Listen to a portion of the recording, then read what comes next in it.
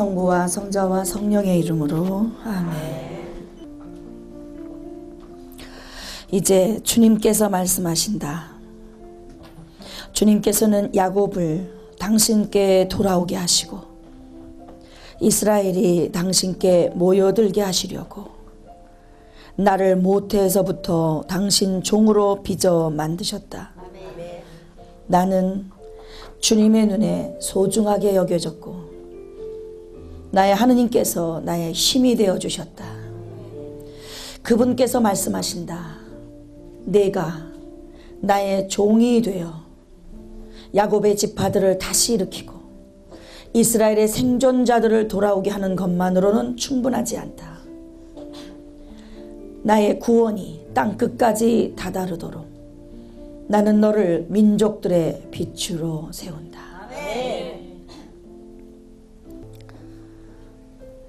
사랑이 사람이 되어서 이 땅에 오신 주님.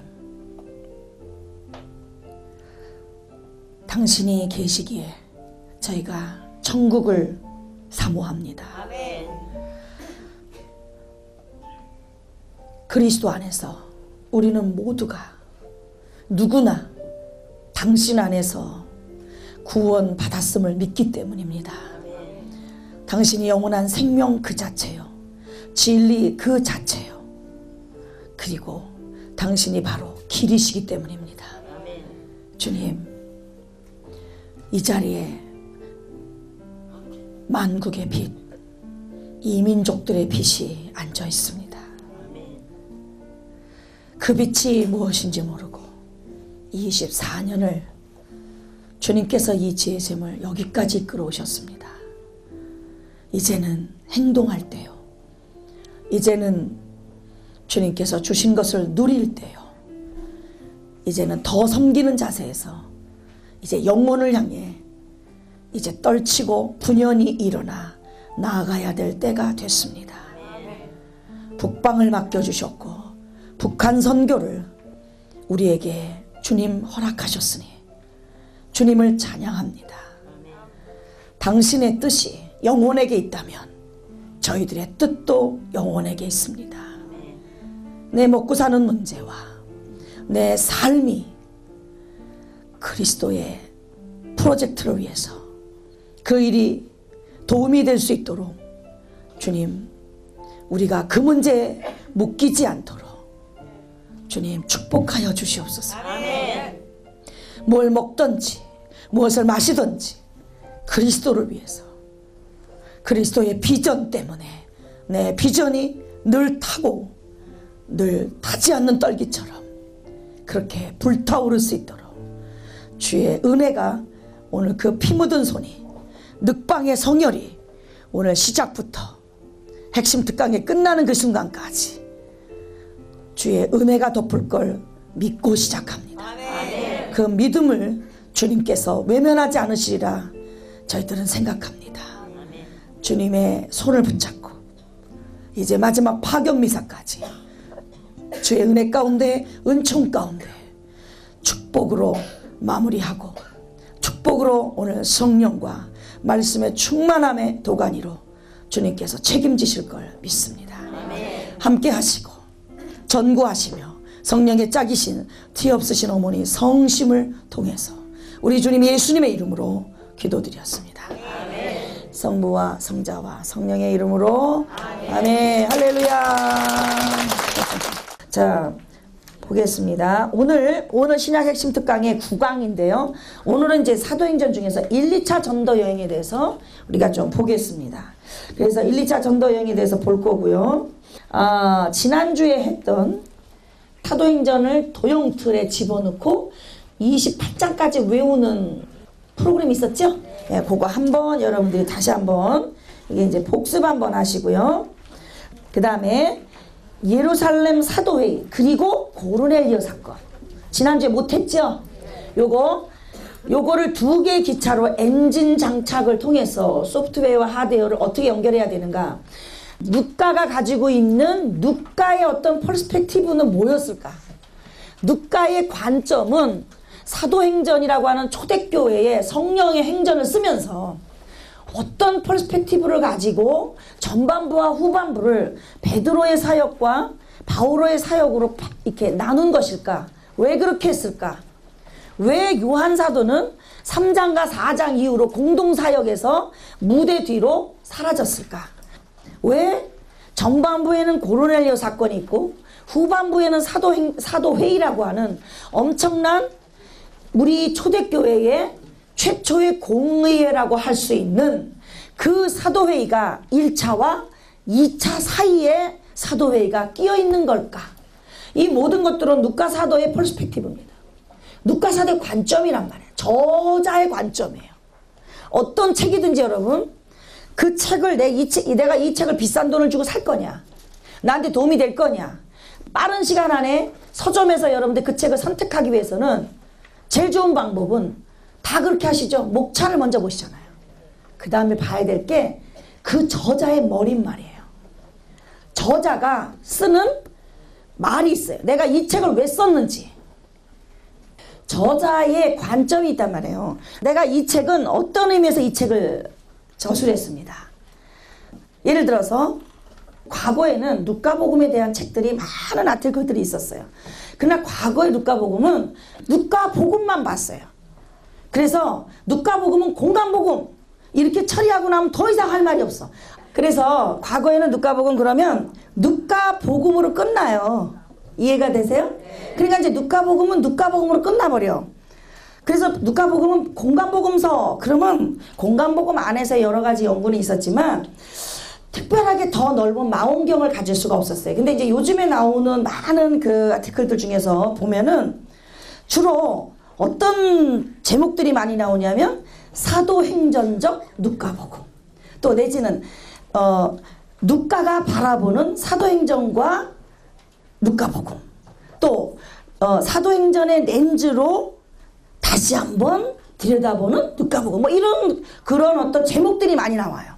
무슨 의미예요? 이제는 넓게 누가복음의 공간복음 차원으로만 보는 게 아니라 그 누가복음을 사도행전이라고 하는 신약의 가운데 토막 신약의 엄청난 초대교회의 그 역동적인 그 역사에 사도 바울의 13개 서간을 집어넣은 상태에서 그럼 신약 전체의 관점 안에서 누가의 위치를 바라본단 말이에요. 그래서 누가복음이 요즘 연구가 활발해지고 있고 왜 누가복음과 사도행전을 누가가 썼다라는 관점과 누가복음 1복음, 누가 2복음, 2복음이라고 하는 사도행전 그렇게 연결을 해버리면 관점이 달라져요. 그럼 여러분 성경이 읽는 깊이가 달라져. 묵상도 달라져. 누가복음을 묵상하는데 사도행전이 드득드득드득 와서 붙어. 응? 사도행전 읽을 때 그 누가복음만이 가지고 있는 진수가 있잖아요. 누가복음만의 아이덴티티가 있잖아. 그게 사도행전에 와서 같이 어우러지는 거예요. 퍼즐이 맞아지는 거예요. 그러니까 여러분들이 영적인 근육이 생길 수밖에 없어요. 영적인 근육이 생기면 제일 중요한 건 옛날엔 그 십자가를 질질 끌고 다니고 옛날엔 그 십자가가 부담스러웠는데 눈을 감으면 나 정말 눈 안 떴으면 좋겠다. 이대로 눈을 안 떴으면 좋겠다. 그러니까 죽었으면 좋겠다 이 말이야. 그쵸? 우리 그렇게 힘들 때는 참 정말 그런 어떤 유혹에 빠지기도 해요. 눈을 감으면서 이 눈을 안 떴으면 밤에 이제 눈을 끄- 이제 잠자리에 들면서. 근데 여러분 아니잖아요. 내가 영적인 근육이 생겨서 십자가를 딱 질 정도 되면 어떤 기도가 나온지 아세요? 주님 오늘도 너무 감사합니다. 온 식구가 이, 이게 한 지붕 밑에 다시 또 잠자리 들게 해주셔서 감사합니다. 내 새벽같이 일어나서 주를 찬양하는 새벽에 무릎을 꿇게 하여 주시옵소서. 새벽 무릎에 나를 초대하여 주시옵소서. 기도가 달라, 기도가 달라. 마귀 새끼가 우울증 걸려서 떠나간다니까. 눈 감으면서 아, 눈을 안 떴으면 좋겠다. 이러면 마귀가 신나갖고 달려들어. 그래. 너는 내일이면 눈을 안 뜬다는 기도를 계속해야 돼. 마귀가 그러잖아. 너는 살 수 있는 가치가 없어. 막 옆에서 그러잖아. 근데 우리가 막 영적 근육이 생겨가지고 막 기쁜 마음을 찬양하면서 오늘도 하루 이렇게 잘 보내게 해주셔서 감사합니다. 내일은 제가 새벽 무릎에 주를 찬양하겠습니다. 주님, 내일 새벽에 봐요. 그러면서 딱 눈을 감으면 마귀가 옆에서 한숨을 쉬어. 저것이 지혜 샘에 가더니 힘만 생겨가지고 내가 할 일이 없구나. 아멘. 그게 말씀의 힘입니다. 아셨죠? 그래서 여러분 저자의 관점은 그렇게 대단한 거예요.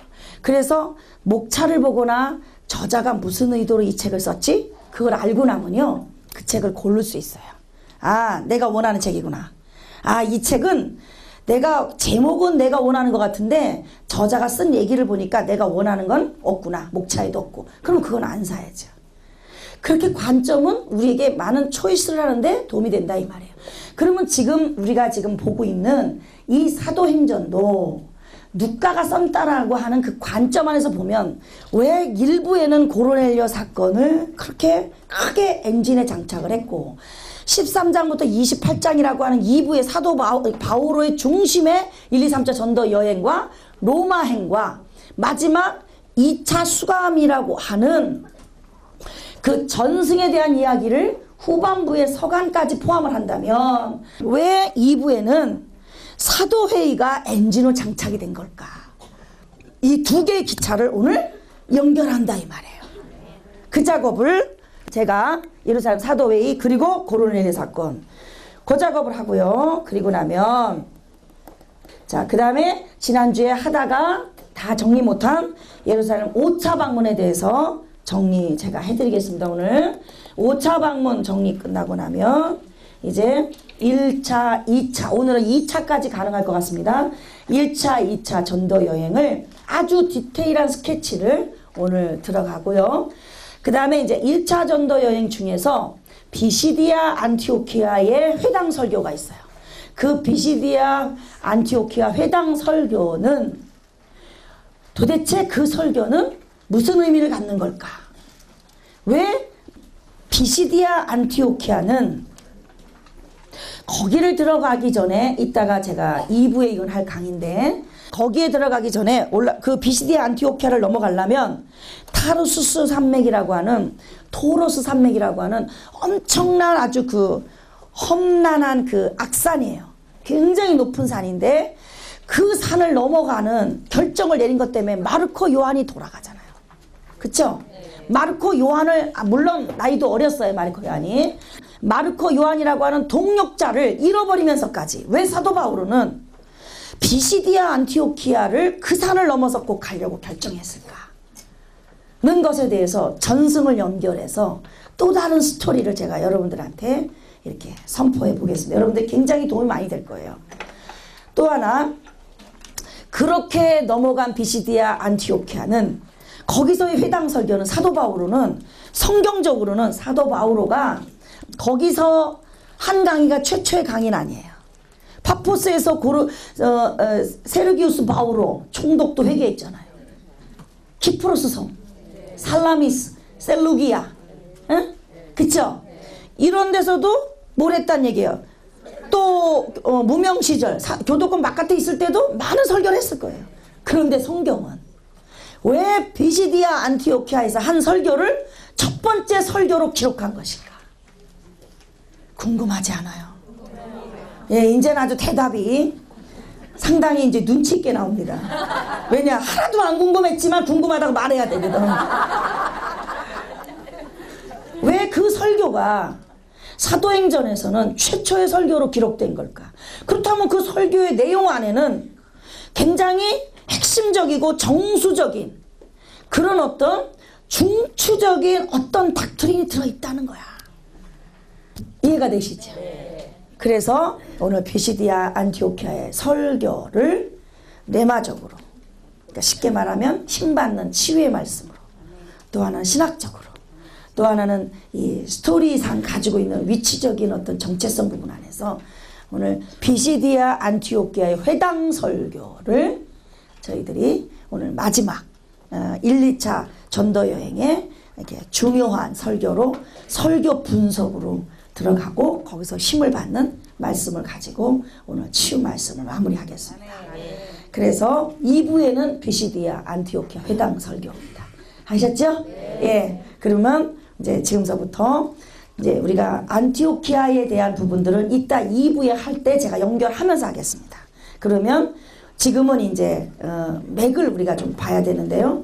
지난주에 했던 그 이제 도형틀을 한번 복습하고 아셨죠? 그리고 고르넬리오 사건, 어, 엔진 장착, 또 그 고르넬리 사건과 사도회의가 왜 엔진이 될까? 1, 2부에서 그 부분으로 오늘 바로 넘어가겠습니다. 여러분들 교재를 보면 22장 5차 방문을 먼저 하고요. 24장 할 겁니다. 그리고 그렇게 하기 전 그렇게 하고 나서 지금 여러분 이제 그 앞으로 쭉 가게 되면 12페이지에 1차 성교 나오죠. 그 1차 성교 그 코스 하고요. 거기 보면 1차 성교 코스 보면 13장 13페이지 보세요. 어디 하는지 아시겠죠? 출발 그래갖고 시리아 안티오키아서부터 셀루기아 살라미스 이거를 여러분들이 성경을 보면서 형광펜을 쭉쭉 칠해 나갈 수 있도록 제가 아주 디테일하게 갈게요. 사도행전은 지명이 안 들어오면 지도가 안 들어오면 절대 안 읽어져요. 신구약 중간사 족보가 왕사가 연결되지 않으면 절대 안 읽어져요. 모든 성경이 다 그렇지만 특별히 사도행전은 지명 그 다음에 신구약 중간사는 족보와 왕사 이거 두 개 안 읽어지면요 아 저 공부를 여러분이 안 해놓으시면 절대로 그걸 모르고 나는 그 신구약 중간사를 이해해 이렇게 말하시는 분은요 거짓말이에요 만약에 난 신구약 중간사에 대해서 빠삭해 그럼 그분한테 에돔의 집안의 족보와 그 다음에 유다 마카베오 집안의 마따디아 집안의 족보를 읊어보라 그러세요. 대사제 족보를. 차독줄기라면 읊어보라 그러세요. 그거 모르면 그 사람 거짓말하는 거예요. 왜냐하면 그걸 모르고는 신구약 중간사의 마카베오 상하는 절대로 읽어지지 않으며 거기에 다니엘서의 7장부터 12장까지 4대 묵시를 아셀루쿠스 왕조와 묵시문학을 연결할 정도의 실력이 없다면 절대로 마카베오 상하는 여러분 이해할 수 없는 거예요. 제가 무슨 얘기하는 거예요? 공부 좀 하셔야 돼요. 어렵지 않습니다. 조금만 고생하면 되는데 정말 우리 카톨릭 신자들은 너무너무 좋은 영성을 하나 갖고 있는데 내비도 영성을 갖고 있는데 그 내비도 영성이 뭐냐? 진짜 나뚜라 영성이야 나뚜라 영성. 그 나뚜라 영성이 뭔지 아세요? 나 건드리지 말라고. 나 내 맘대로 내가 읽고 내 맘대로 이해해서 내가 복음을 내가 만들 테니까 나한테 신경 쓰덜덜 말어. 그리고 아무리 피세 정념의 준말이 피정입니다만 세상을 떠나서 생각을 정리한다 피세정념 아무리 정말 피정이라는 게 세상을 피하는 거라고 하지만 여러분 공부도 피하라는 게 아니야. 그래서 비정을 가면요. 그냥 아무 생각 없이 깔깔깔깔 웃고 물론 그것도 필요하죠. 웃음도 치유해요. 깔깔깔깔 웃고 내지는 감성적이고 뭐 어떤 내 공감대를 좀 건드려주고 그러다가 점심에 빼볼록 나오도록 열심히 그냥 아주 기름진 음식 잘해주면 잘 먹고 그것도 모자라서 4시쯤 되면 간식도 먹고 그렇게 하면서 그냥 하루를 정말 이렇게 부담 없이 편히 쉬는 것만을 피정으로 생각하는 개념이 있어요. 말씀 피정은 안 그렇습니다, 여러분. 말씀 피정은 신경 좀 쓰셔야 돼요.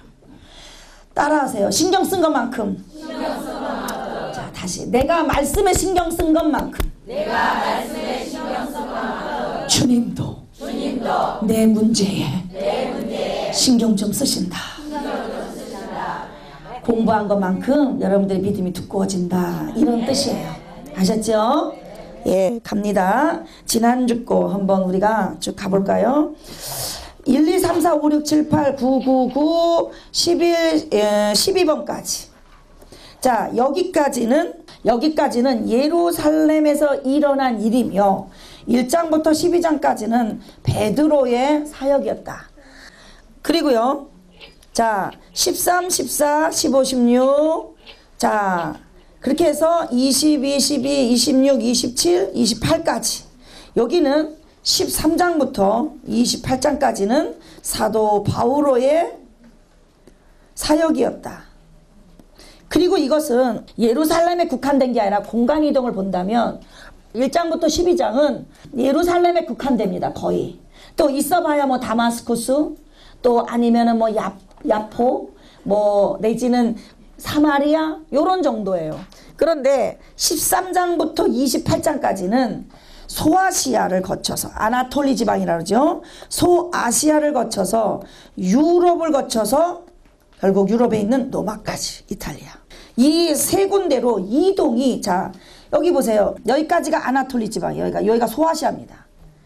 지금 여러분 이거 이제 이해하시죠? 지금 이 밑에가 지도가 있는 거 여러분 머릿속에는 지도가 받쳐져 있어야 돼요. 그래서 여기까지가 소아시아라면 이쪽으로 넘어가면 이제 여기까지는 뭐예요? 유럽의 유럽. 여긴 뭐예요? 로마예요, 로마. 그래서 여기서 13장이 여기 안 비시디아 여기는 여기는 시리아 안티오키아잖아요. 그죠? 시리아 안티오 요 안티오키아란 말 자체가 셀루쿠스 왕조 때 안티오쿠스 그 왕의 이름을 따서 사실은 16개의 도시가 세워졌었어요. 그 다 없어지고 두 개만 남은 거예요. 여기 안티오키아, 이쪽이 안티오키아. 비시디 안티오키아, 시리아 안티오키아.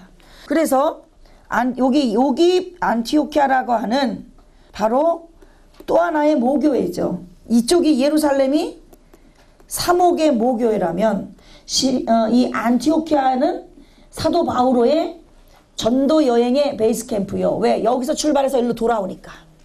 성경이 그렇게 잘라야만 1, 2, 3차 전도 여행이 정리가 되거든요. 그래서 이 시리아 안티오키아는 선교에 있어서는 모교회가 되는 거예요. 사목에 있어서는 예루살렘이 모교회가 되는 거예요. 이 두 개의 양대 산맥의 모교회를 중심으로 초대교회는 운영이 됩니다. 초대교회는 움직인다 이 말이에요. 그래서 모교회에서는 물론 야고보 사도가 지켰습니다만 교황의 수익권, 교황권의 수익권을 받은 계파로서의 의미를 본다면 예루살렘 교회는 베드로 중심이 되는 거죠. 또 어, 안티오키아 교회 중심은 야, 바오로가 되는 거예요. 그러나 베드로 사도가 지키지 않았어요. 베드로 사도는 고린토서를 보면 고린토 교회까지도 사실 고린토 교회 고린토 교회에 뭐가 있었어요? 베드로파가 있었잖아요. 개파파. 나는 개파파다. 어, 난 그리스도파다. 나는 아폴로파다. 그 말을 했을 때 고린토인들의 분열의 조정을 위해서 사도 바오로가 고린토 일서를 쓸 때 뭐라고 말해요? 복음은 하나다. 나는 그렇게 파가 나눠지는 걸 인정할 수 없다. 그 얘기를 고린토서에서 제일 먼저 분쟁에 대한 조정을 들고 나온다 이 말이에요. 이해가 되시죠? 자 그런 겁니다. 그러면 대충 여러분들이 그 정도 공간 이동과 사역의 이동을 봤습니다. 그러면 보, 볼까요? 1장에 무슨 사건? 승천 사건. 자 2장에 성령 강림이 일어났고 배우 설교, 베드로의 오순절 설교가 있었습니다. 3장에 안전뱅이 미문 사건이 있었고 베드로의 솔로몬 주량 설교가 있었습니다. 4장에 베드로와 요한이 감옥에 갇혔었고요. 5장에 하나니아와 사파리, 사, 사피라가 성령을 속인 관계로 줄초상이 났습니다. 사도들의 권위가 세워졌죠. 성령의 권위가 세워진 거예요. 자, 6장에 일곱 봉사자가 생겨나게 됩니다. 히브리계, 헬라계, 과부들이 다른 감정들이 얽혔다가 이것이 뭘로 터져나갔다고요?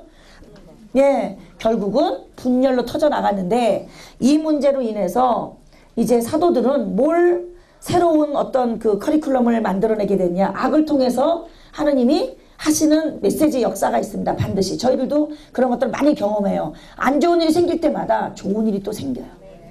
아, 이 문제에 대해서는 이, 우리가 이런 걸 하나님이 세우라는 거구나. 아, 이렇게 이제 방향을 잡으라는구나. 라는 걸 하나님이 가르쳐 주시죠. 그 일곱 봉사 사건, 7장에 스테파노가 설교하고 순교합니다. 그것 때문에 박해가 시작되면서, 자, 그 박해로 걷어차는 과정 안에서 이제 위로 올라갑니다. 사도들이. 그래서 8장에는 유사, 유, 유, 유다와 사마리아 선교가 이어지고요. 9장에 사울의 회심이라고 하는 앵글이 잡힙니다.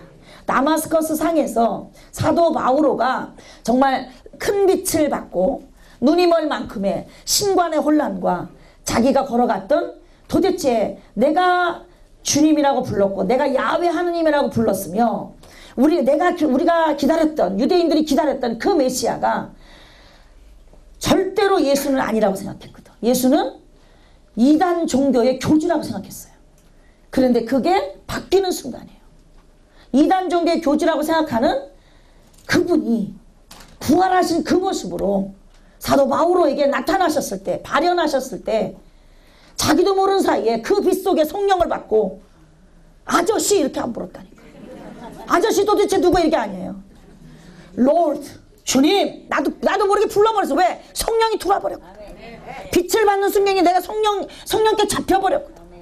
성령께 잡힌 자는 내 안에 있는 성령이 신앙 고백을 하기 때문에 주님, Lord 이 자체가 신앙 고백이야. 고백해버리고 나서 그 다음에 you?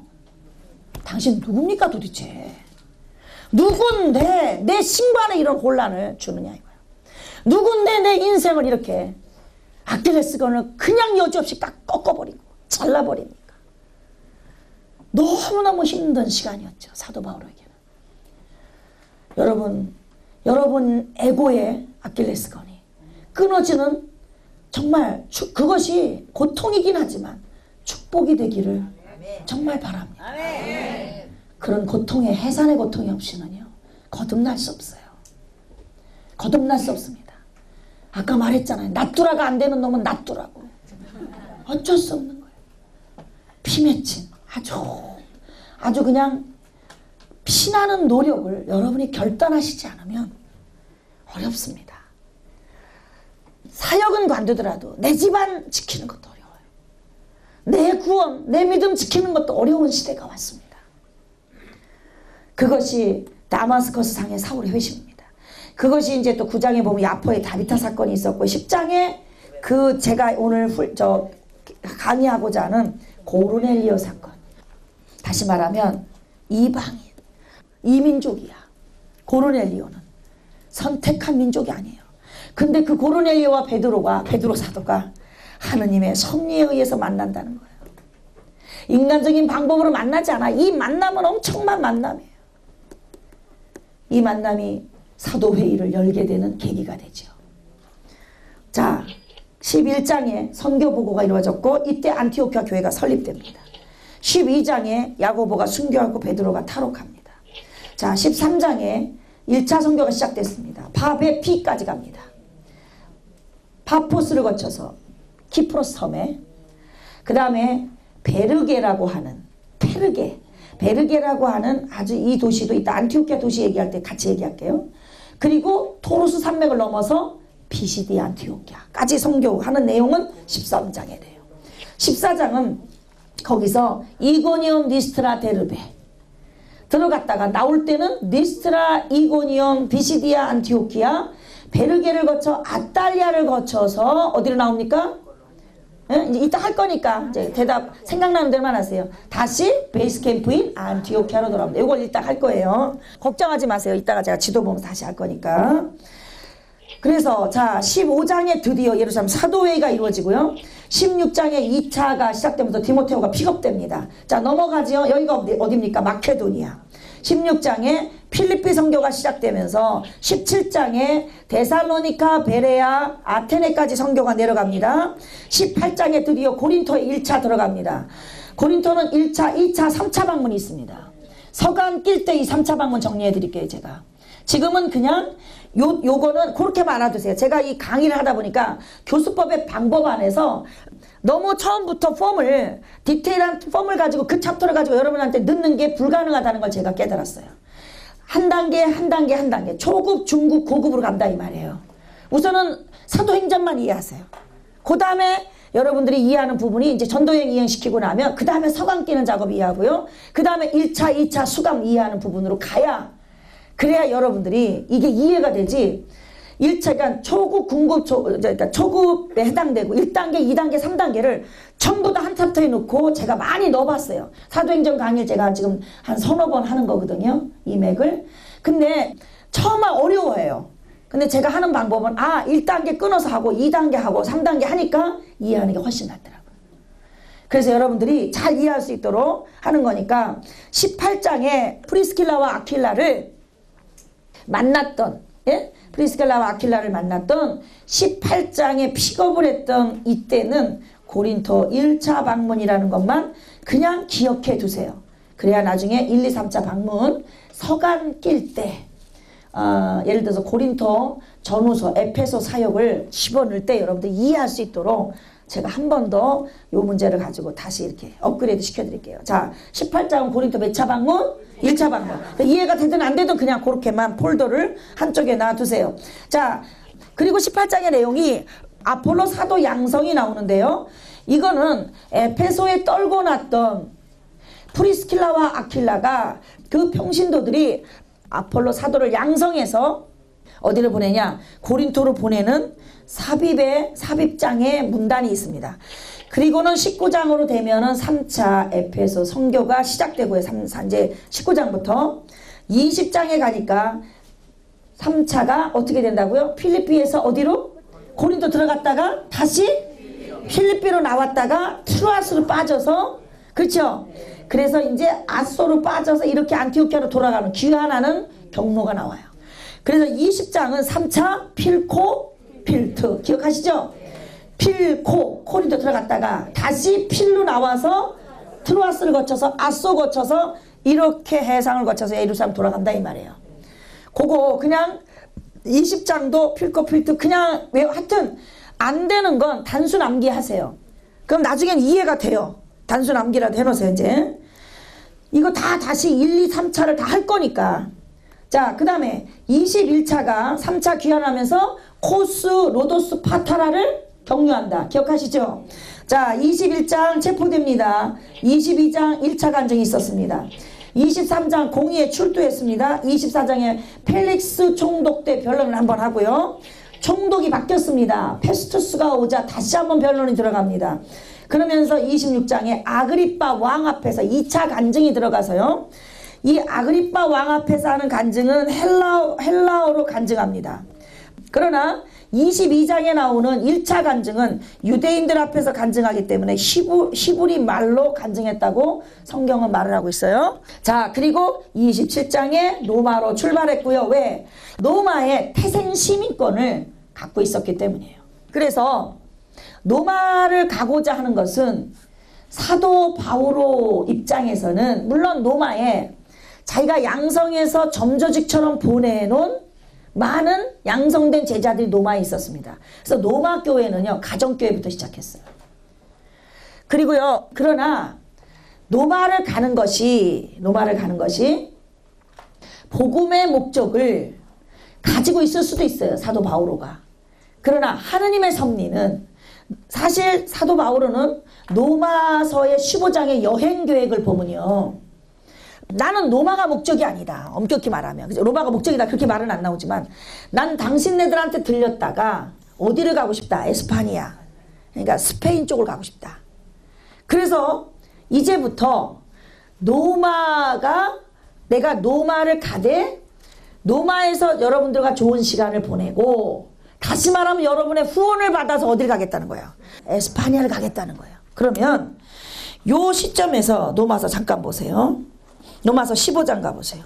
이런 텍스트는 아주 중요한 텍스트입니다. 그러니까 반복해서 아주 머릿속에다 외워두세요.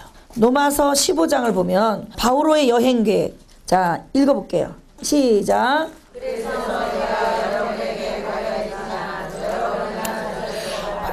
그러나 이제 이 지역에서는 더 이상 내가 일할 곳이 없고 또 나는 여러 해 전부터 여러분에게 가고 싶은 소망을 품어왔습니다. 그래서 내가 에스파니아로 갈 때 지나는 길에 여러분을 보고 먼저 얼마 동안 여러분과 기쁨을 나누고 나서 여러분의 도움을 받아 그곳으로 가게 되기를 바랍니다.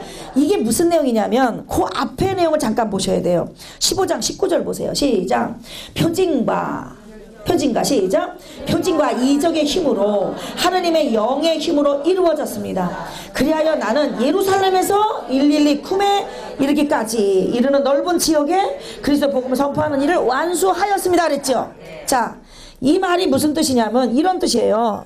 이 말은 112가 여기에요. 그죠? 예루살렘은 여기에요. 그러면 여기서부터 이만큼을 다 케어했다는 소리야.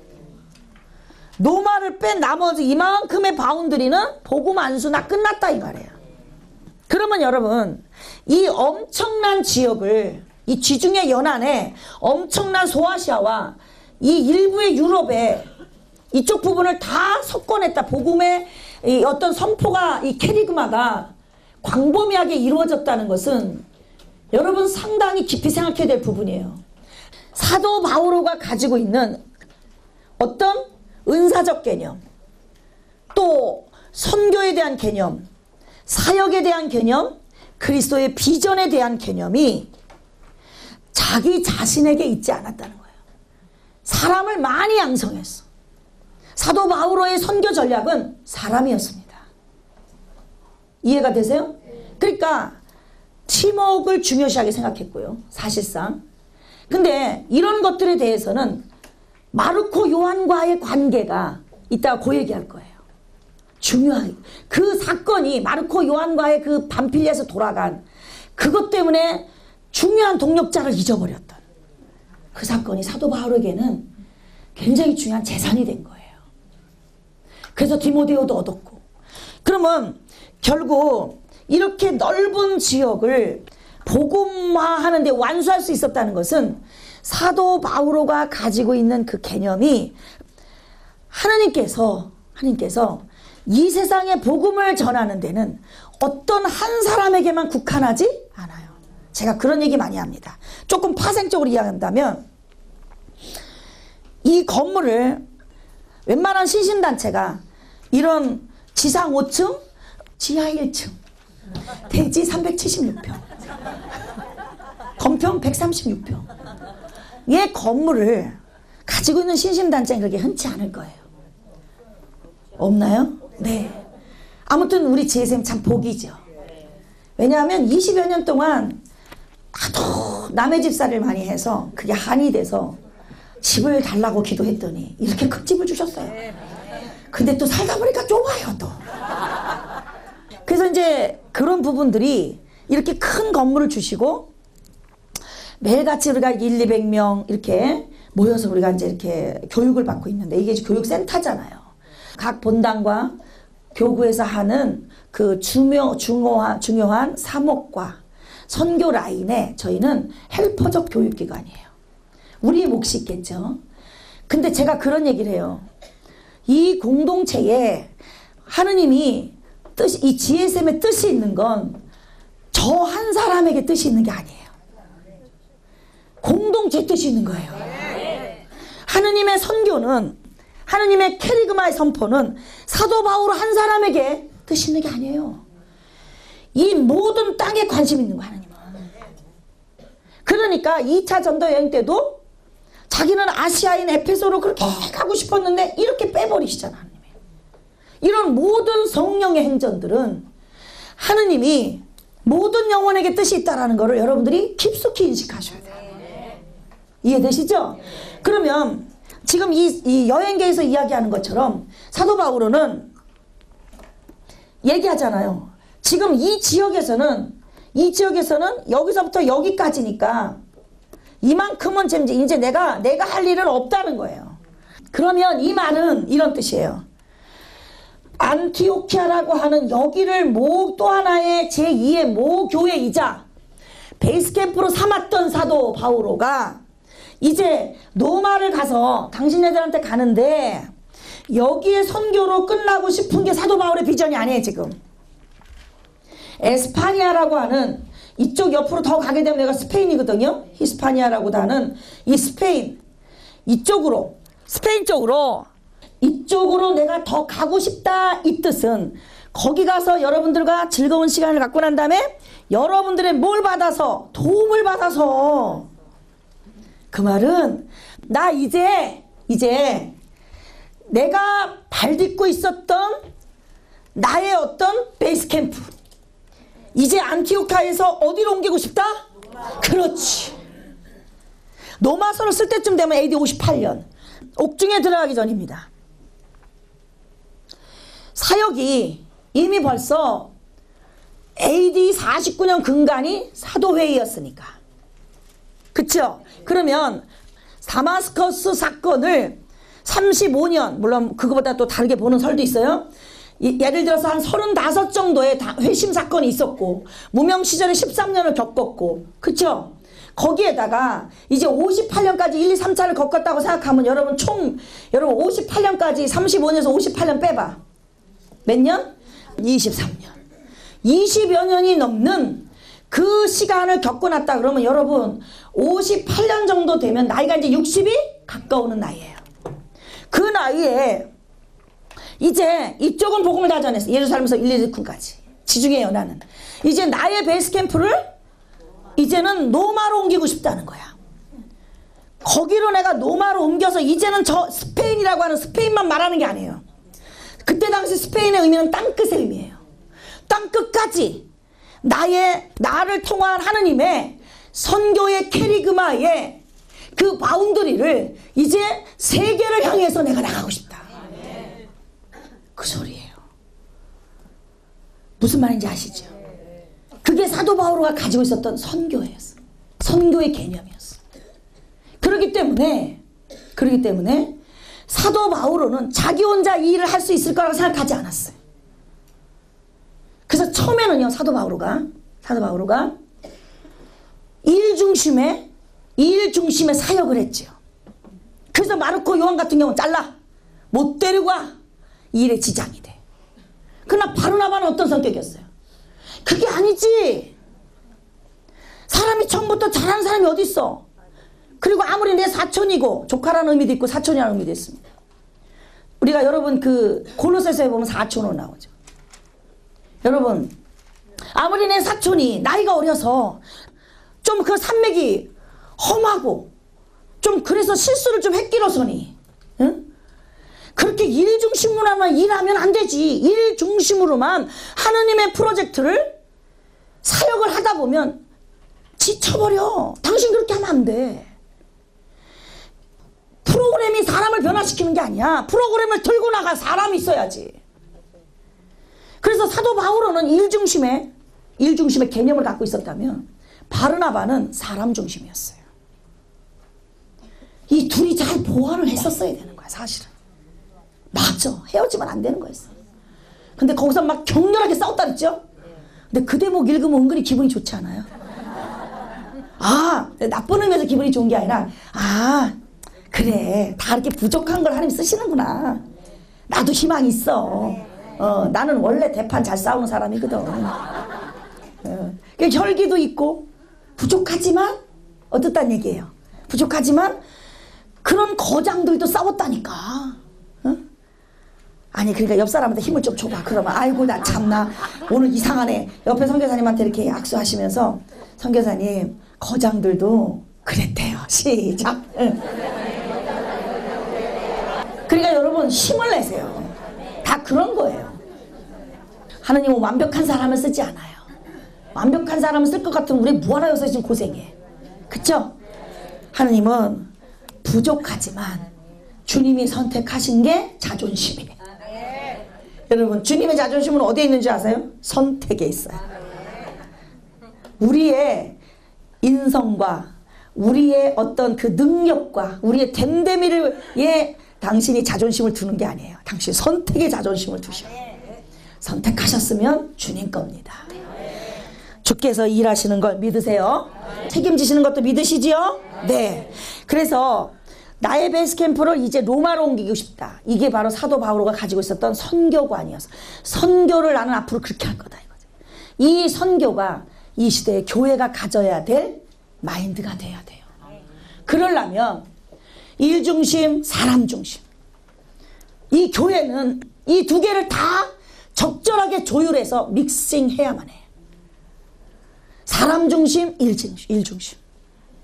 일도 돼야 되고 사람도 키워져야지. 두개 다 있어야 돼요, 여러분. 사람만 잘 키워놓으면 뭐야? 아무 마인드도 없고, 아무 비전도 없고, 프로그램도 없어. 사람은 대빵으로 다 뽑아갖고 키워놔서 다 이렇게 제복 입혀놨는데, 배지 다 달았는데, 가방 딱 들고 노트북 딱 들었는데, 그 노트북 들고 가서 뭐 할 건데, 그러면 아무것도 할 게 없는데요. 가서 간증만 하다 올 거냐, 이 말이지. 일 중심도 필요해요. 일이 되도록 해야죠. 그쵸? 그러나 사람 중심 또한 필요하죠. 사람이 없는데 뭘 하냐고요. 선교는 사람이 있어야 될 거 아니에요. 이 두 가지가 우리가 이제 이따 마르코 요한 할 때도 조금 더 요 얘기를 제가 좀 다뤄볼게요. 자, 그러면 여러분 이제 제가 지금 15장의 이야기를 잠깐 이제 봤습니다. 그러면 자, 한번 볼까요? 이제 제가 아까 쭉 갔던 거 한번 다시 한번 보세요. 오른손을 드시고 오른손을 드시고 제가 1장을 열면 그러면 자 오른손을 드시고 자 1장을 열면 시작 1장을 열면 승천 2장을 열면 성령 강림 배호설 3장을 열면 안증뱅이 배설주설 4장을 열면 배요가 5장을 열면 하사죽 6장을 열면 일곱 봉사자 7장을 열면 스테파노 설순교 8장을 열면 유사성교 9장을 열면 사울의 배시 9장을 열면 야포 다비타 10장을 열면 고베만 11장을 열면 선교보고 안 티오키아 교회 설립. 12장을 열면 야순 베타. 자 전도인 떠납니다. 13장을 열면 파베피 선교. 14장을 열면 이리대 선교. 아탈리아 거꾸로. 15장을 열면 예루살렘 사도회의. 16장을 열면 2차 디모테오 비거 17, 16장을 열면 2차 필리피 성 17장을 열면 2차 데베아 성 18장을 열면 2차 고린토 아프 피고. 넘어갑니다 에페소로. 2차 18장을 열면 2차 기안 아폴로 사도 양성. 19장을 열면 3차 에페소 성교. 20장 20장을 열면 3차 필고 필드 성교. 21장 열면 3차 귀한 코로파 경 21장 열면 바우로 체프 22장 열면 1차 간절 23장 열면 고니의 출두 24장 열면 펠릭스 변론 25장 열면 페스투스 변론 26장 열면 아그리파 2차 간증 27장 열면 로마 출발 28장 열면 로마 도착. 박수 한번 쳐보세요 일단 여러분들이 사도행전은 이 정도의 어떤 이 chapter를 가지고 머릿속에 일단은 굵은 선만 넣어놓으세요. 외우려고 하지 마세요. 어차피 외워져. 신경 안 써도 돼 그런 거. 자 그러면 제가 딱 이렇게 놔야 이제 안 보이지. 여러분 에페소 성경은 몇 장부터 시작될까? 에페소 성경 19장 그렇지 그게 3차 성교예요. 자 그럼 여러분 이리대를 들어가는 데는 어디야? 파베피가 아니고 이리대. 아, 예루살렘 사도회의는 몇 장이에요? 15장. 아, 갑자기 제가 가슴이 막 뜁니다. 여러분들 대답을 잘하니까. 그러면 여러분, 자, 사울이 회심한 사건은 몇 장? 그렇죠. 그걸 가지고 소명장이라 그러는 거요. 응? 소명장. 아브라함은 12장, 이사야는 6장, 예레미야는 1장, 그 다음에 모세는 3장, 사도 바울은 9장, 요한은 1장. 이게 뭐야? 다 소명장이야. 부르심 받았던 장들이 제가 지금 쭉 말했던 게 어머 저 선교사는 성경을 얼마나 읽었을까? 아니. 성경을 많이 읽어서 아니라 제 머릿속에 뭐가 돌아가니까? 틀이 돌아가는 거지. 틀이 돌아가면서 필요한 것들은 쭉쭉쭉 잡아 빼는 거예요 또 제사는 제사에 관한 거 성전은 성전에 관한 거 성막은 성막에 관한 거 구원론은 구원론에 관한 거 성모님에 관한 거 성모님에 거 이런 거를 쭉쭉쭉쭉 다 뽑아낼 수가 있어. 그래서 여러분들이 밥 모임 가면 앉아서 쫙쫙쫙 머릿속에서 뽑아내는 거야. 몇 장에 가면 뭐 이런 얘기가 있는데 말이야. 그건 몇 장하고 이렇게 연결시키면 이렇게 연결이 돼. 그러면 여러분 거기서 나오는 박수가 어떻게 나오냐? 어머 오빠! 그게 여러분 이밥 모임에 그 하느님이 주시는 기름 부음이 여러분의 입술을 열게 되는 어, 말씀이 쭉 열리는 은혜가 있기를 축복합니다. 예. 마지막 하나만 제가 더 물어볼게요. 하나만 딱 중요한 거 하나. 진짜 중요한 거 하나. 그게 뭐냐. 여러분, 제일 중요한 거. 고린토 1차 방문. 고린토 1차 방문, 1차 방문. 18장. 거기서 누구 만났어요? 그렇죠. 아프를 만났죠. 그죠? 자, 예를 안티오키아 교회가 세워진 것은 어디? 몇 장? 시, 응? 11장. 예. 지금 기억나잖아요. 그렇게 중요한 장들은 외우려고 하지 마세요. 중요한 것들만 여러분들이 성경을 읽다 보면 이제 외워지고 강의하다 보면 외워지고 누구한테 이렇게 가르쳐 주다 보면 외워지고 아셨죠? 욕심내지 마세요. 죽을 때까지 100%는 다 못 외웁니다. 100%는 다 못 외워요. 그러나 이게 이제 자꾸만 하나하나 재산이 쌓이다 보면 대신에 내가 한 번 입력된 건 어떤 의미로 위치적인 의미로 입력이 됐던 연상 기억법적으로 입력이 됐던 마인드 기억법 마인드 어떤 어, 맵적인 그 이렇게 지도의 위치적인 부분으로 기억이 됐든 간에 그건 죽을 때까지 아니죠. 그게 이 도형틀의 효과입니다. 도형틀은 저는 말합니다. 100% 외울 수 없습니다. 아 순간은 외우지. 순간을 외우지 이렇게 1장을 열면 성장 2장을 열면 성령강림 이렇게 배워서요. 그래갖고 이게 쏟아질까봐 이렇게 하고 다녀야 돼. 그러다가 버스가 와가지고 막 뛰어서 탔어. 그 순간 1장을 열면 아무것도 없어. 무슨 말이냐. 욕심내지 마세요. 여러분, 도형틀이 무슨 신학도 아니고, 도형틀, 도형틀 자체가 말씀도 아니고, 도형틀은 보조 프로그램이에요. 성경의 맥을 짚을 수 있고, 그 흐름을 보는데 보조 프로그램이야. 거기에 목숨 걸지 말라고. 응? 목숨 걸지 마세요. 그러나 꾸준히 하세요. 꾸준히 하다 보면 여러분 30%만 건져도요. 1328개의 탑픽에 여러분 사- 저 거기서 30%만 건져도요. 여러분 능력 받는데 아무 지장 없어.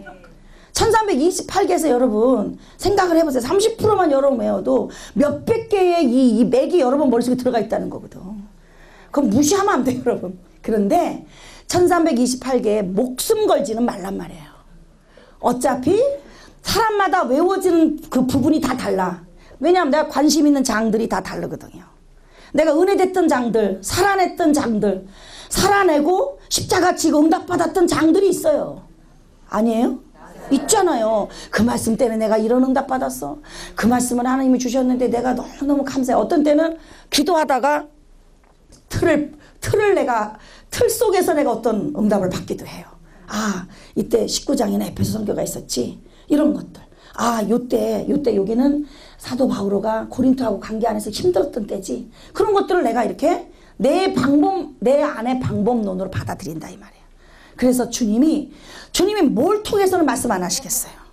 그죠? 때로는 요만한 아이를 통해서도 말씀하시고, 어? 그죠?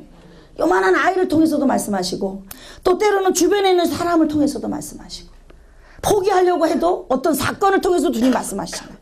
무엇을 통해서든 주님은 나한테 말씀하시거든요. 말씀하시는 하나님을 말씀을 공부하지 않고 그 말씀을 들으려고 그러니까 이상한 소리만 어둠의 소리만 듣는 거예요. 말씀하는 하나님은 말씀을 공부해야 말씀 속에서 듣지. 믿습니까? 좋습니다. 갑시다 이제. 자 그러면 자 우리가 5차 방문 조금 정리하고 가죠. 예루살렘 5차 방문부터 정리하겠습니다. 성경 갑시다. 이거는 짚어만 드리면 되는 거니까.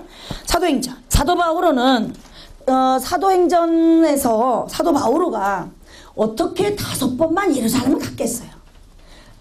요한복음에서 보면 예수님이 예루살렘을 다섯 번 간 걸로 성경은 기록을 합니다. 제가 말하는 건 공생애만. 사생애까지 하면 예루살렘에서 잊어버렸다 찾았던 누가복음의 사건도 있죠. 제가 말하는 건 공생애만. 근데 예수님이 어떻게 예루살렘을 한 번만 가, 그렇게 다섯 번만 가셨겠냐고. 근데 참 우연치 않게 사도 바오로도 예루살렘을 다섯 번만 간 건 아니실 거예요. 근데 기록된 내용을 보면 다섯 번 가셨어요. 근데 예수님도 요한복음의 공생애만 보면 다섯 번 내려가신 걸로 나와요. 그래서 그걸 여러분들이 좀 연결하시면서 자 한번 봅시다. 요한복음 5차 어, 다, 예루살렘 다 가신 것은 사복음 때로 공부하셨으니까 사도행전 9장 9장 25절에서 26절 사이에 1차 방문 제가 짚어드렸죠. 그죠? 1차 방문 짚어드렸죠? 갈라디아서하고 연결하면 짚어드렸습니다. 이 부분은 그냥 갈게요.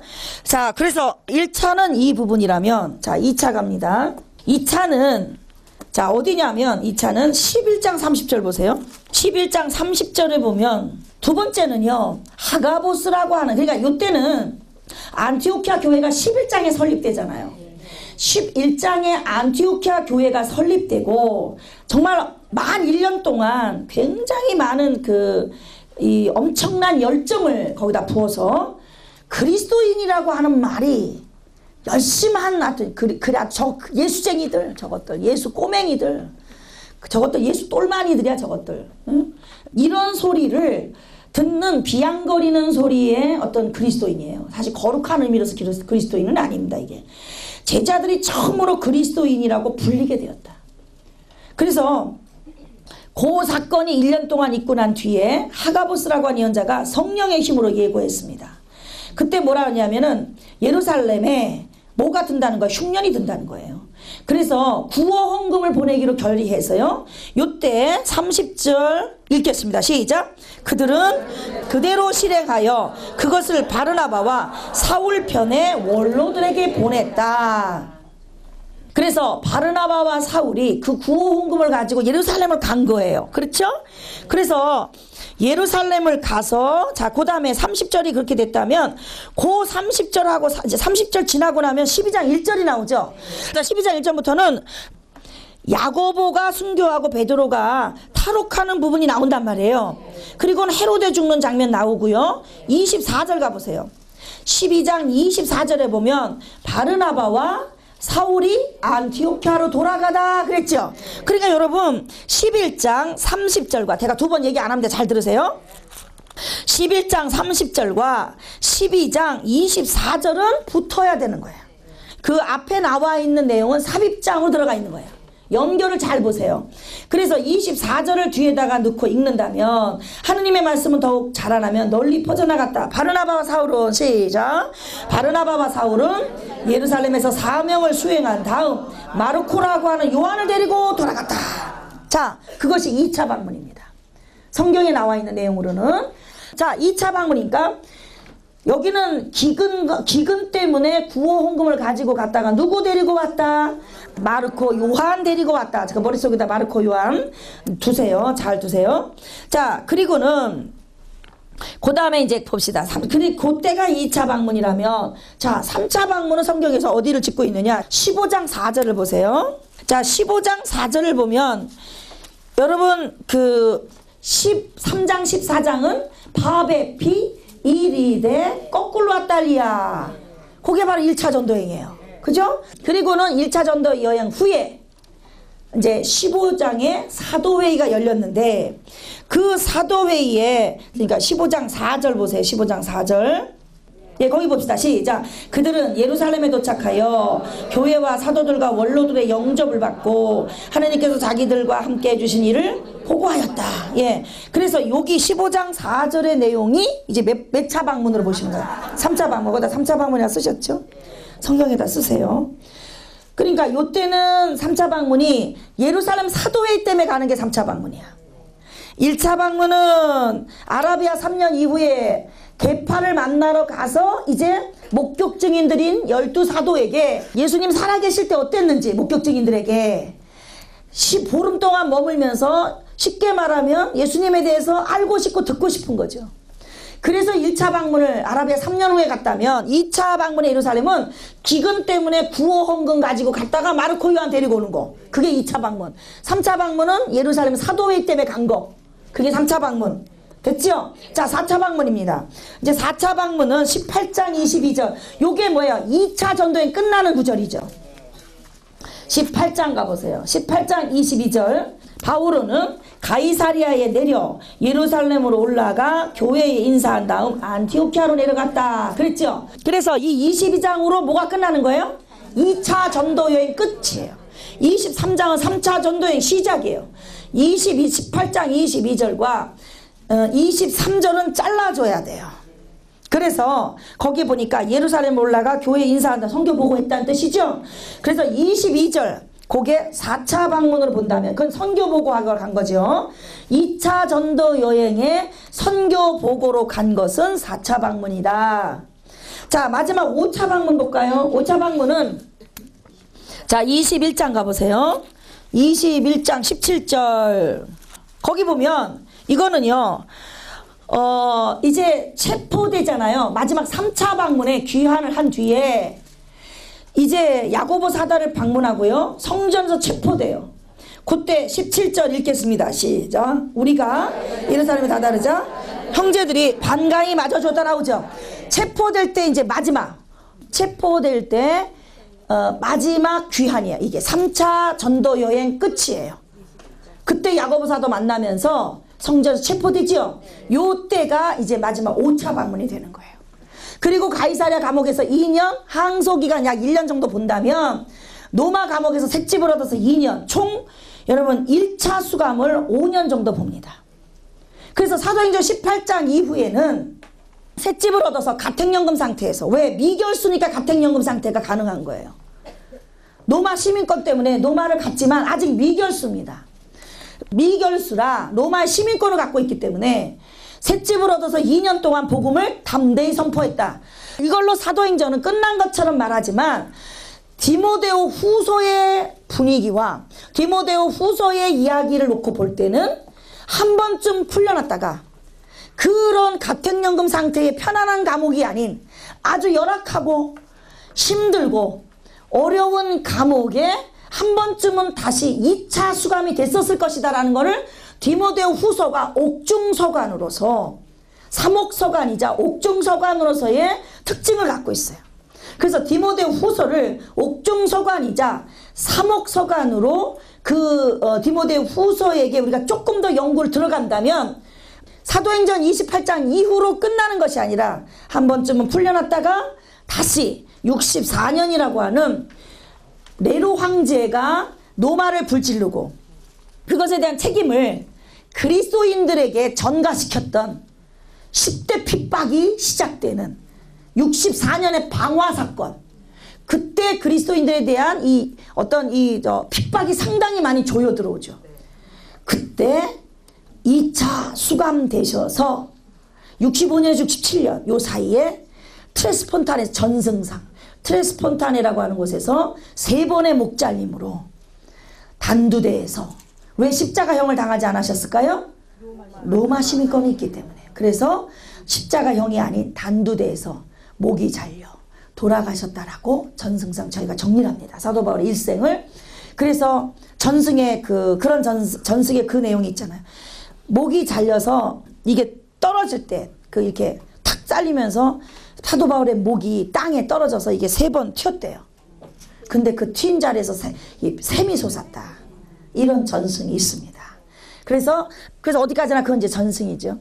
그때 그때 그 자리에 누가만이 그 이제 이 옥중에 이 마지막 그 셋집에 있을 때는 누가가 옥중에 있었을 것이며 거기까지 함께 있었다면 마지막 그 돌아가시는 그 참수형을 당할 때 누가는 함께 있었지 않았겠느냐라는 것. 그래서 이런 기록들이 가능하지 않았겠느냐라는 것들을 저희가 총정리할 수 있습니다.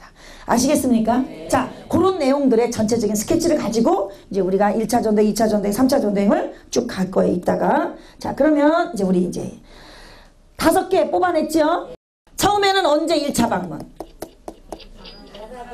아라비아 3년 갔다 와서 목격 증인인 게파와 야고보와 열두 사도에게 예수님에 대한 이야기를 정보를 듣고 싶었어요. 예수님 살아계실 때 어땠는지. 두 번째 2차 방문은 기근이 들었을 때 구호 헌금 가지고 갔다가 마르코 요한 픽업해서 올 때. 자, 3차 방문은 예루살렘 사도회의 때. 4차 방문은 그냥 성교복을 하면 안 돼. 2차, 2차 전도 여행 끝나고 성교 보고 마지막 귀환할 때. 자, 그 다음에 나머지 다섯 번째는 3차 선교 후에 체포될 때. 그렇게 해서 총 다섯 번의 예루살렘에 방문한 기록을 루카가 기록하고 있는데 저는 이제 이 부분에 대해서 우리가 한번 짚고 넘어가야 될 것은 왜 그토록 사도 바울은 안티오키아 교회라고 하는 자기의 boundary가 있었고 자기의 베이스 캠프가 있었어요. 자기 후견의 교회가 있었어요. 어떻게 생각하면 예루살렘 교회에서 예루살렘 교회에서 사, 베드로 사도나 야고보 사도나 그 이외의 열두 사도들이 침범할 수 없는 손댈 수 없는 자기만의 어떻게 보면 왕국일 수 있어. 자기만의 바운드리야. 그 안티오키아 교회에 모든 원로들과 세워진 그 사람들은 다 사도 바오로가 쥐고만 있으려 그러면 다 바오로의 추종자들이에요. 바오로가 키웠으니까. 그쵸? 그 자생에서 생겨나긴 했지만 그거를 1년 동안 열정을 쏟았고 그들을 키워냈고 양성했고 조직을 구성했고 그런 것들은 이 안티오키아 교회가 그러니까 바오로 사도에게 있어서는 엄청난 자기만의 왕국일 수 있다는 거예요. 그런데다가 모교회보다는 뭐가 있었어요? 부흥이 있었어요. 그러니까 구원금을 도와줬지. 예루살렘 교회에. 그런데 왜 사도 바울은 그토록 선교가 끝날 때마다 아마 이거보다 더 많이 가셨을 거예요. 선교가 끝날 때마다 흉년이 들 때마다 마지막에는 아예 잡혀서 체포돼서 5차 방문 때는 체포돼서 예루살렘의 교회에 가면 이제 당신은 죽을 거다. 라는 예언을 3차 전도의 마지막 무렵에 이미 예언이 나왔어요. 그런데도 에페소 신자들을 불, 원로들을 불러내서 밀레도스에서 서로 목을 끌어안고 밀레도스에서 서로가 회포를 풀고 그때 마지막 작별 인사를 하는 밀레도스의 고별 설교가 있습니다. 그 고별 설교에서조차 사도 바울은 그렇게 말해요. 난 달릴 길을 다 달렸다. 왜 자꾸 내 마음이 흔들리도록 나보러 자꾸 예루살렘 가지 말라고 말하느냐. 죽을 각오하고 그때도 마지막 3차 전도행의 마지막 프로젝트도요. 구호 헌금이었어요. 그때도 돈이었다고. 그걸 오순절에 예루살렘 교회가 오순절까지 맞춰서 가야 축제 때 쓸 거 아니야. 안 그래도 돈이 없는데 오순절 예? 성령 강림 대축일 자 우리로 말하면 국수라도 좀 삶아야 될 거 아니야. 그쵸? 그런 경비가 많이 쓰이고 그러니까 돈이 많이 쓰일 때니까 그 축제를 절기를 맞춰서 들어가기 위해서 밀레도스에로 이 에페소 신자들을 끄집어내서 좀날좀 보러 나와 내가 이제 가면 못 볼 것 같아 우리가 고별 인사 좀 하게 나와 그런데 내가 에페소까지 들어갔다가 다시 나와서 배를 타고 예루살렘을 가면 오순절을 놓치는 거예요 그것 때문에 들어가는 들어가지 않고 원로들 보러 나오라 그러는 거예요. 밀레도스로. 그래서 그래서 밀레도스의 고별 설교가 탄생하는 거예요. 제가 나중에 이 밀레도스의 고별 설교를 가지고 또 저희가 또 은혜 받을 겁니다. 왜 그랬을까? 사도 바울은 답은 간단해요. 교회는 하나이기 때문이에요. 어떤 일이 있어도 예루살렘 교회에 항상 신경을 쓰고 있어 사도 바울은. 보세요. 자기가 회심을 해서 다마스커스에서 자기의 신관이 흔들렸고 이단 교 이단 신흥종교의 교주였던 교주라고 생각하며 그렇게 예수쟁이들을 잡아다가 감옥에 쳐넣었던 그 사람이 그 사도 바오로가 성령의 회심을 성령을 통해서 회심을 하고 나니까 회개하고 나니까 그 다음에는 제일 먼저 신경 쓰는 게 사도였어요. 그래서 그 사도들의 인정을 받지 못했어요. 목격 증인이 아니기 때문에 예수님 살아계실 때 사도가 아니었다는 이유 때문에 부활한 예수님을 봤다 그러고 성령의 사도로 그쵸? 내가 그렇게 성령의 사도로 하느님이 날 부르셨다고 말하고 그래도 다른 사람들이 그런 거 아니고 안 알아주고 자꾸 가짜 사도라고 그러니까 여러분 서간의 머릿말을 보세요 사도 바울의 상처가 그대로 그 안에 다 들어가 있어 시간이 없으니까 제가 몇 개만 볼게요 보세요 아주 은혜가 되는 얘기입니다. 서간을 보세요, 서간을. 자, 로마서부터 한번 볼까요? 로마서 1장. 로마에서 1장 보세요. 읽어볼까요? 시작. 인사말 시작. 그리스도 예수님 종으로서 사도로 부르심을 받고 하느님의 복음을 위하여 선택을 받은 바우로가 이 편지를 써요. 아니 누가 물어봤냐고. 누구의 종인지. 자, Παῦλος δοῦλος Χριστοῦ 예수. 이게 원문에서 시작되는 모든 서간의 시작이 다 Παῦλος δοῦλος Χριστός 예수 예수 이렇게 표현이 돼요 이게 지금 13개 서간의 머릿말의 원어가 다 그렇게 돼서 Παῦλος δοῦλος 그러니까 무슨 뜻이냐 예수님의 종이란 말이야 Παῦλος δοῦλος Χριστός 예수 그러니까 예수님의 종인 파우, 바우로가 이 편지를 씁니다 그러니까 Παῦλος δοῦλος Χριστός 예수 그러니까 Παῦλος δοῦλος 이게 굉장히 중요해요 근데 여기 보세요. 사도로 부르심을 받았다 그러잖아요. 하느님의 복음을 해서 선택받은 바오로가 이 편지 쓴다고요. 그죠? 자, 그 다음 보세요. 조금 이제 은혜가 되실 겁니다. 로마서 뒤에 고린토서 보세요. 고린토서 전 어, 고린토 첫째 서관을 보면 하느님의 뜻에 따라 그리스도 예수님의 사도로 부르심을 받은 바오로와 소스테네스 형제. 그러니까 나는 인간에 의해서 사, 세워진 사도는 아니야. 나는 열두 사도처럼 그렇게 목격 증인은 아니야. 아무도 믿어주지 않을는지 모르지만 나는 성령에 의해서 부활한 예수님을 받고 그분에 의해서 하나님의 뜻에 따라 세워진 예수의 사도라고. 고린도 후서 가보세요. 여러분 이 부분만 정리를 해도요. 여러분 진짜 진짜 정말 여러분 가슴이 참 미어질 때도 있어요. 보세요. 하느님의 뜻에 따라 또 나오죠. 예. 자, 그 다음 가보세요. 고린도서 뒤에 갈라디아서 한번 가보세요. 자, 읽어볼까요? 시작. 사람들에게서도 어떤 사람을 통해서도 파견된 것이 아니라 그쵸 예수 그리스도와 그분을 죽은 이들 가운데서 일으키신 하느님 아버지를 통해서 파견됐다고 나 사도는. 나 파울로스 둘로스는. 나 파울로스 둘로스는. 난, 난 나는 종내나 종 바오로는 종 바오로는 사람에게서 어떤 사람을 통해서 파견된 게 아니야. 여기서 여기서 여러분 뭐가 느껴져요? 사도권 변호가 느껴지잖아. 나 가짜 사도 아니야. 제발 믿어줘. 나 가짜 사도 아니야. 부활하신 예수님을 다마스커스 상에서 볼 때 다 같이 봤으면 얼마나 좋겠어. 사진 한 장 찍어놨으면 얼마나 좋겠어. 부르심은 그런 거예요, 여러분. 부르심은 나하고 하나님만의 관계야. 나하고 주님만의 관계야. 아무도 그것에 대해서 설명하라면 설명할 수 없어. 내가 우리 바오로 씨한테 이렇게 말합니다. 우리 여기 바오로 아닙니다. 우리 신랑 바오로 씨한테 무슨 얘기를 하면서 하느님이 당신 보러 기도 좀 하래. 하느님이 당신 보러 이러 이러 이렇게 이러 이렇게 뭐 믿음 좀 성장하래. 그런 말 하잖아. 그럼 뭐라 하는지 아세요? 꼭 꼭 들은 것처럼 얘기하네. 이래요.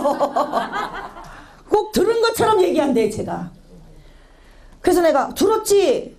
그러면 이제, 이제 지금은 이제, 농담으로 우스갯소리로 이제 얘기하지만 옛날에는 따지고 들어요. 지금은 이제 자기도 같이 미쳤으니까. 지금은 그런 말도 안 물어보는데 옛날에는 이제 한참 막 저도 핍박받은 시절이 있었죠. 저도 저를 다듬으시는 시간이 있었는데 그때는 막 따지고 드는 거예요. 어떻게 들었냐? 만났냐? 문자라도 받았냐? 전화가 왔냐? 이런. 나 없을 때 전화 왔어? 아니면 왔었어 주님이? 이제 이런 식으로. 그럼 할 말이 없어요 나는. 그럼 막 약이 올라요. 막 여기까지 혈기가 올라요. 그럼 여러분 이게 영적인 전쟁이잖아요. 예? 그러면 그 영적인 전쟁의 영권은 내가 그걸 설명하지 않아도 상대가 앵겨져 와야 되는 거거든. 딱 품어져 와야 돼. 근데 이 영권이 개의 뿔도 없으니까 개의 뿔, 개는 뿔이 없어요. 쥐도 뿔이 없어요. 그래서 개뿔, 쥐뿔 이렇게 말하는 거예요. 개는 뿔이 없어요, 여러분. 그러니까 진짜 없다 이 말이야. 개뿔도 없다는 말은 개 원래 뿔이 없는데 뭐. 쥐뿔도 없다. 쥐가 원래 뿔이 없어요. 귀는 있어도 뿔은 없어요. 그러니까 진짜 영권이 진짜 쥐뿔 개뿔도 없을 때니까 진짜로 속이 너무 상하는 거예요. 근데 지금은 같이 미칠 만큼 하느님의 은혜가 있고 이제 그때보다는 더 성장한 이 나름대로 영적인 근육이 있잖아요. 그러니까 지금은 그렇게 안 해요. 근데 한창 때는 그렇게 제가 막, 막 놀리기도 하고 약 올리기도 하고 그것 때문에 싸우기도 하고 어? 그래서 그게 짜- 설명하기가 참 그렇잖아요. 근데 이게 이 지금 사도 바오로가요. 그 심정을 한번 그 심정과 이 심정은 진짜 차이가 하늘과 땅 차이겠죠 물론. 그 고충이. 그러나 만분의 일이라면 어떤 색깔인지는 알 수 있을 거다 이 말이야. 여러분들이 주변에 내가 이렇게 설명할 수 없는 부분 벙어리 냉 가슴처럼 이 가슴이 버섯 먹이니 확 뒤집어서냐? 보여줄 수도 없고 어? 그러면서도 내 신앙과 내 사명 안에서 조롱을 받을 때가 있죠. 수모를 받을 때가 있어요. 지금 여기 보세요. 사람에게서도 또 어떤 사람을 통해서도 그렇게 나는 파견된 것이 아니라고. 이 말은 다른 말로 말하면 그렇게 말하지 마. 주님, 주님 살아계실 때 내가 사도가 아니었다고 해서 그렇게 나한테 막말하지 마. 난 봤다고. 난 주님 만났다고. 난 사명 받았어. 난 성령의 사도야. 이게요, 여러분, 아니 좀 아프면 하나도 안 아픈 것 같잖아요, 여러분. 어때요? 사도 바오로의 그 마음이 느껴져요? 여러분 이게요, 거기 보세요. 하느님 아버지를 통해서 예수 그리스도의 선택을 통해서 자 이런 얘기 쭉 나오는데 자 에페소 가보세요. 제가 지금 흥분했기 때문에 하나 더 갑니다. 에베소 가보세요.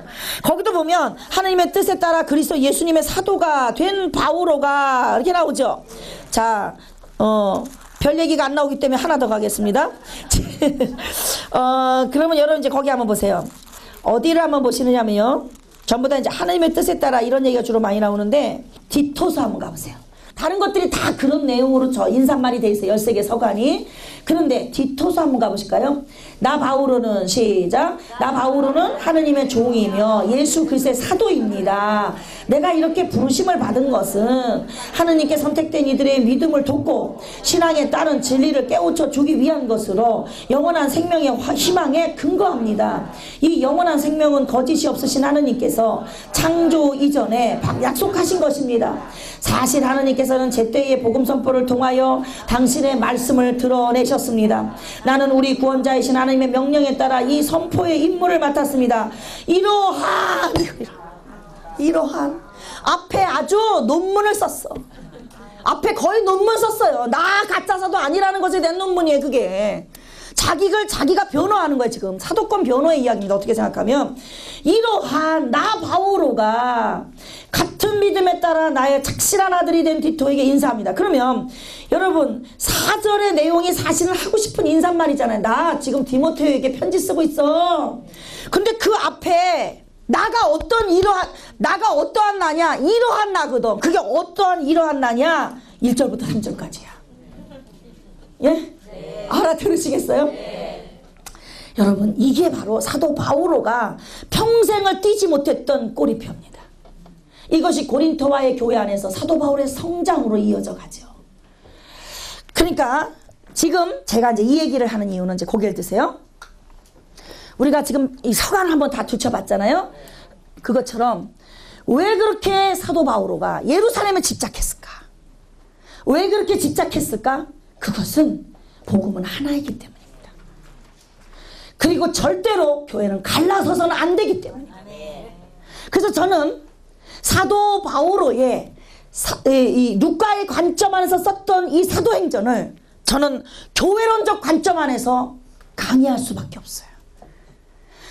예루살렘의 오차 방문은 사도 바오로가 가지고 있었던 하나인 교회, 사도로부터 이어오는 교회, 거룩한 교회, 공본된 교회.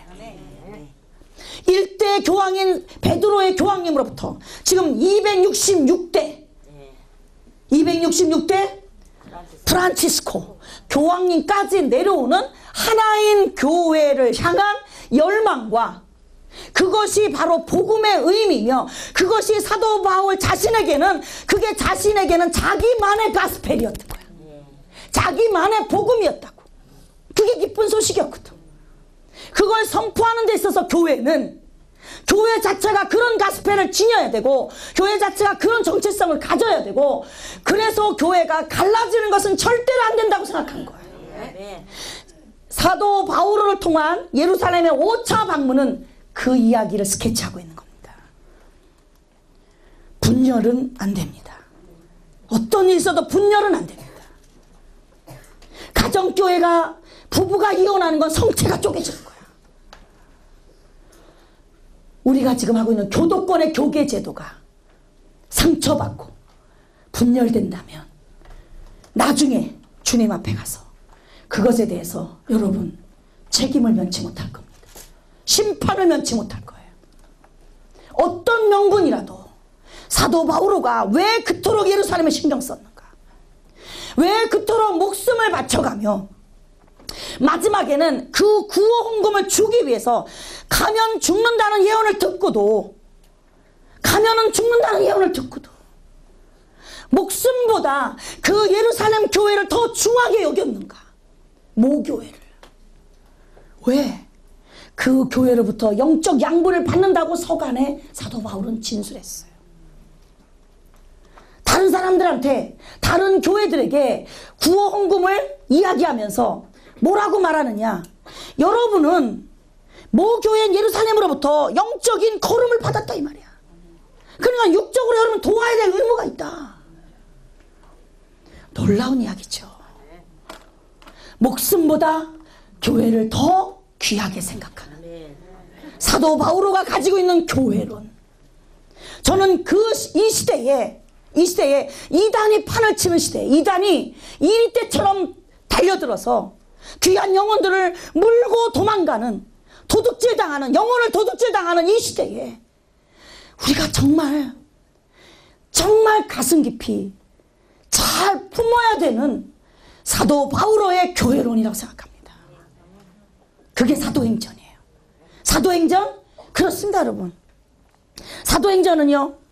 거기에 나오는 많은 기적적인 얘기도 있고 17개나 넘는 설교, 설교 중 설교로 사도행전이 이루어져 있고 그 사도행전 안에는 사도 바울의 정말 정말 엄청난 그 사역의 열정들이 쓰여져 있고 모든 그 모든 것들에 대한 프리, 커, 그 커리큘럼은 그 모든 것들에 대한 프로그램은 다 성령께서 하셨지요. 성령의 행전이니까. 그러나 그 성령의 행전이 어디를 향하고 있는가 보세요. 그 성령의 행전이 사도 바오로의 마인드를 통해서 어디에 초점을 스포트라이트를 비추고 거기다가 빛드날을 받고 그 기둥에다가 손을 얹은 예수 그리스도의 피 묻은 손이 얹어 있는가 보란 말이에요. 그게 교회입니다. 모교회, 예루살렘 교회. 오늘 주께서 우리의 예수님께서 그 피 묻은 손을 여러분 가정에 얹으실 거예요. 이 한반도에 얹으실 것입니다. 지금은 비록 허리가 잘려져 있지만 하나님 반드시 잘린 허리를 치유하실 거예요. 왜? 주님이 이 대한민국을 두고 한반도를 두고 당신의 비전을 우리에게 주셨는데 민족들의 빛이라고 하는 비전을 주셨는데요. 그 비전은요 반쪽짜리 한반도가 아니기 때문입니다. 왜 반드시 통일이 돼야 된다고 생각하십니까? 동포니까. 그리고 우리는 한민족이니까. 더 잘 살기 위해서. 좋아요. 다 좋습니다. 무슨 이유가 됐든 통일은 돼야죠. 근데 하느님 입장에서 가장 통일이 돼야 되는 가장 큰 이유를 주님이 만약에 말씀하신다면 그분의 말씀은 이렇습니다. 내가 이 한반도에 전 세계 복음의 센터로 한반도를 내가 이제 선택했으며 아멘. 선택한 그 한반도는 반쪽짜리 한반도가 아니라 통일된 그 한반도에 반드시 복음의 센터가 세워질 것이며 이제 영적 이스라엘로 내가 이 대한민국을 쓰기를 원한다. 그것이 하나님의 뜻입니다. 그래서 우리는 반드시 평화 통일이 됩니다. 어떤 방법이든 하나님은 평화 통일의 뜻을 두고 계십니다. 기도하는 우리가 있고 기도하는 또 많은 사람이 있는 한 주님께서는 반드시 한반도를 쓰실 겁니다. 이제 보세요. 한국에서 나오는 능력의 선교사들이 전 세계를 향해서 영적 이스라엘로 그 영혼들을 품고 몸부림칠 때가 옵니다. 그들에게 복음을 전하고 그들에게 말씀을 치고 그들을 품어 안고 상담하고 치유하고 그날이 올 거라고 저는 여러분들에게 그 믿음을 나누고 싶습니다. 믿습니까? 저희 GSM에 24년 동안 품었던 비전은 그거 한 가지입니다. 만국의 빛. 민족들의 빛. 그게 이 GSM을 세우신 하나님의 목적입니다. 그래서 저는 여러분에게 종의 말씀이 아니면 한 번도 말한 적이 없어요. 저의 강의는 양의 말씀을 안 합니다. 저는 제가 안 하는 게 아니에요. 저를 쓰시는 성령께서 항상 종 말씀을 하십니다. 여러분 종으로 응답 받으세요. 성 교회 시대는 성령의 시대입니다. 성령의 시대는 은혜의 시대. 은혜의 시대는 능력의 시대. 능력의 시대는 성령께서 여러분을 끌고 가는 또 다른 성령의 행전이 여러분 안에서 이루어질 거기 때문에 우리 뒤에 있는 선교사님한테 비전 좀 한번 터치하시죠. 선교사님, 우리 이제 성령의 행전을 씁시다. 시작. 예. 성령의 행전을 쓰자 그러니까 뭐라 그래요? 삐죽대죠. 우리 성령의 행전을 씁시다. 여러분 가정 안에서 먼저 쓰여지길 축복합니다. 여러분 자녀들한테서 먼저 쓰여지기를 정말 소망합니다. 우리 그렇게 될 겁니다. 왜냐? 하나님의 뜻은 누구도 막을 수 없어요. 하나님의 뜻을 누가 막겠습니까? 하나님의 뜻을 어떤 인간이 막겠습니까? 어떤 사건이 막겠습니까? 어떤 사상이 그걸 막겠습니까? 어떤 문화가 그걸 거스르겠습니까? 이 세상에 있는 모든 것들은 다 하나님 손바닥 안에 있어. 그쵸? 예. 주님을 우리가 꽉 붙듭시다. 자, 그러면 이제 이제 고르넬리오 사건과 예루살렘 사도회에 대해서 우리가 이제 조금 봅시다.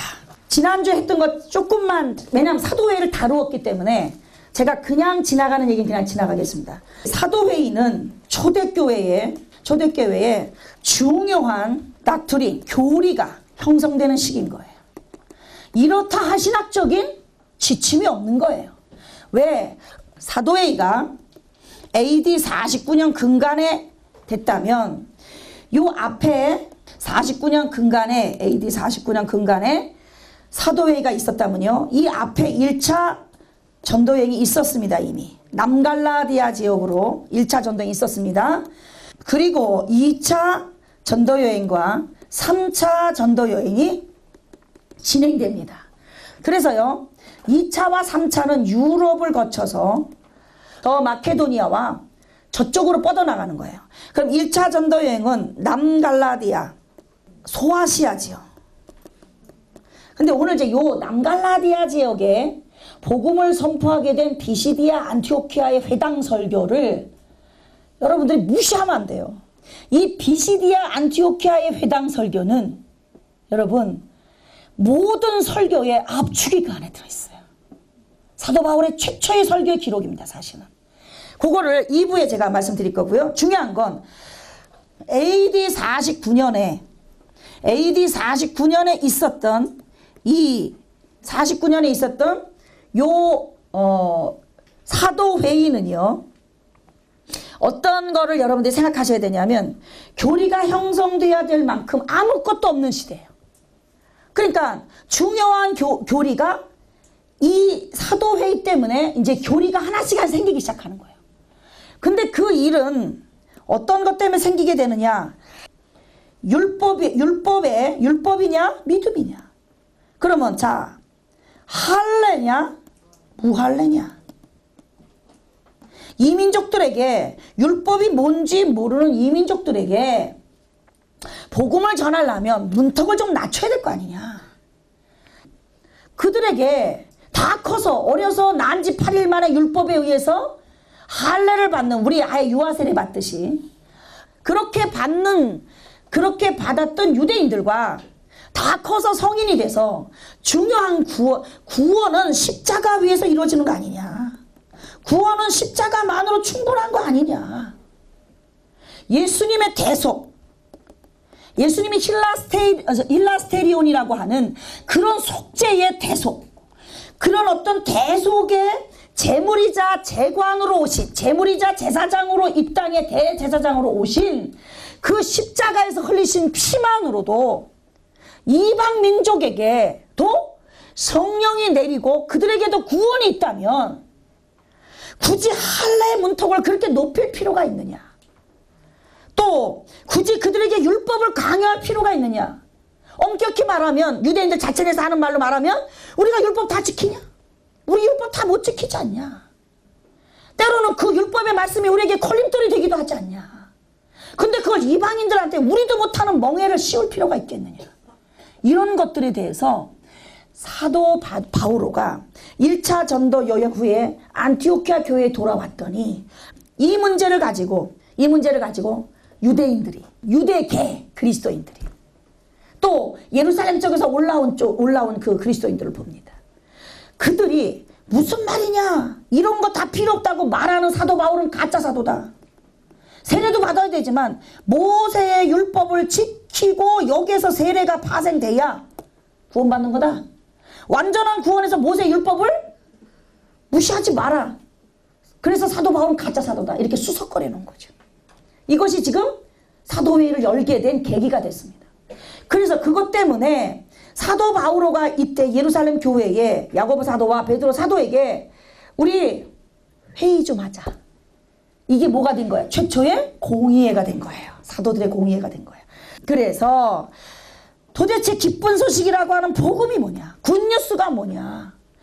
율법의 문턱 그대로 있고 할례의 문턱 그대로 있다면 주님의 십자가가 우리에게 구원의 구원의 기쁜 소식으로서 굿뉴스의 의미가 뭐냐? 이런 것들을 십자가로부터 시작하는 신학 그리고 영광의 그리스도로부터 시작하는 신학의 닥트린이 이 교리가 형성되게 되는 중요한 계기가 되죠. 그게 사도회의였습니다. 그런데 이 사도회에서 자세한 거는 지난주에 다 공부했으니까 지지난주에 공부했죠. 다 공부했기 때문에 제가 이 부분에 대해서는 더 이상 거론하진 않을게요. 근데 지금 제가 무엇을 하나 더 지난주에 못 집었냐면 문제는 이겁니다. 이제 자 이걸 보세요. 누가 사도는 지금 기차가 두 개가 이제 가고 있는데요. 자, 한번 볼까요? 자, 그 페이지 한번 보세요. 1장부터 12장은 베드로의 사역이라 했어요. 그죠? 자, 기차 하나가 지금 두- 등장하고 있죠. 자, 여기서 보면 성령 강림 일부의 일부라고 표현할 수 있는 1장부터 1장부터 12장까지의 사건은 베드로 중심인데요. 이 일장의 베드로 중심 사역에서 가장 중요한 사건은 고르넬료 사건이라고 NG를 장착할 수 있다는 거예요. 이게 중요한 사건이야. 왜 그러냐? 뭐 물론 성령 강림 있어야 교회는 이제 탄생하니까 성령 강림 이후에 스테파노가 순교하면서 이 피의 걸음으로 스테파노 성인의 돌에 맞아 죽은 율법에 의해서 돌에 맞아 죽은 거죠. 이 스테파노 이제 이 어, 순교에 대한 피의 걸음 이것이 초대교회를 일으키는 거예요. 자 초대교회를 일으키는데 그게 구장에 가면 사울의 회심 사건이 생깁니다. 구장에 가면 그러면서 베드로 사건이 베드로에 대한 이야기가 베드로 중심으로 그 어떤 화면이 1장부터 10장까지 쭉 전개가 되는데 이 전개되는 과정 중에 고르넬리오 사건은 10장에 있어요. 자, 사도행전 10장 가봅시다. 10장에 고르넬리오스가 환시를 봅니다. 자 읽겠습니다. 10장 1절 가이사리아에 시작 가이사리아에 고르넬리우스라는 사람이 있었는데 이탈리아 부대라고 불리우는 군대의 백인대장이었다. 신심이 깊은 그는 온 지방과 함께 하느님을 경외하며 유다 백성에게 많은 자선을 베풀고 늘 하느님께 기도하였다. 기도하는 사람이었어요. 고르넬리우스는. 자 우리가 거기까지만 보고 9절 보세요. 베드로가 환시를 봐요. 읽겠습니다. 시작. 이튿날 길을 가던 그들이 그 도시에 가까이 이르렀을 쯤 베드로는 기도하러 옥상에 올라갔다. 때는 정오 때 정오쯤이었다. 그는 배가 고파 뭘 좀 먹고 싶어 하였다. 그런데 사람들이 음식을 장만하는 동안 베드로는 무아지경에 빠졌다. 이어서 하늘이 열리고 큰 아마- 아마포 같은 그릇이 내려와 내 모퉁이로 땅 위에 내려앉은 것을 보았다. 그 안에는 네 발 달린 짐승들과 땅의 길짐승들과 하늘의 새들이 모두 들어있었다. 그때 뭐라 해요? 베드로야 잡아먹으라 그랬죠. 예. 절 좀 보세요. 뭐라고 나오냐면 세 번 거듭되는 동안에 베드로는 거절합니다. 왜? 굽이 갈라진 짐승, 부정한 부정한 어떤 이 음식은 먹을 수 없었던 게 율법입니다. 그래서요, 그게 보자기 같은 데서 내려오면서 주님의 음성이 세 번이나 들려요. 베드로야 일어나 잡아먹어라. 절대 안 됩니다. 절대 나는 율법을 어길 수 없습니다. 이 소리죠. 근데 뭐라 그냐 하나님께서 깨끗하게 하신 것을 속되다고 하지 마라. 그러면서 자기가 본 한시가 무슨 뜻일까 하고 생각하고 있는데 17절에 그 곰곰이 생각하고 있어요. 베드로가 환시에 대해서. 우리가 어떤 환시를 보거나 좀 나름대로 기도 중에 어떤 내적 음성을 듣거나 뭐 어떤 나름대로 영감을 받게 되면 기도하면서 곰곰이 생각하죠. 주님 무슨 얘기를 하시고 싶은 겁니까? 제가 어떻게 하기를 원하십니까? 뭘 저에게 말씀하시기를 원하십니까? 라는 거 우리 이렇게 주님께 여쭙죠. 그런 과정이었어요. 그런데 19절에 보면 성령께서 그에게 이르셨다 이렇게 나옵니다. 지금 시작 지금 세 사람이 너를 찾고 있다 그러니 일어나 내려가서 주저하지 말고 그들과 함께 가거라 내가 그들을 보냈다 이게 뭐냐면 의롭고 하느님을 경외하는 사람으로 온 유다 민족에게 좋은 평판을 받은 고르넬리우스 대, 백인 대장이 백인 대장이 선생님을 집으로 모셔다가 말씀을 들으라는 지시를 거룩한 천사에게서 받았습니다. 이게 무슨 소리예요? 양쪽에서 고르넬리우스는 고르넬리우스대로 기도하는 사람이었기 때문에 기도하다가 아 베드로라고 하는 그 사도를 그 사도를 데려다가 말씀을 들으라는 영감을 받은 거예요.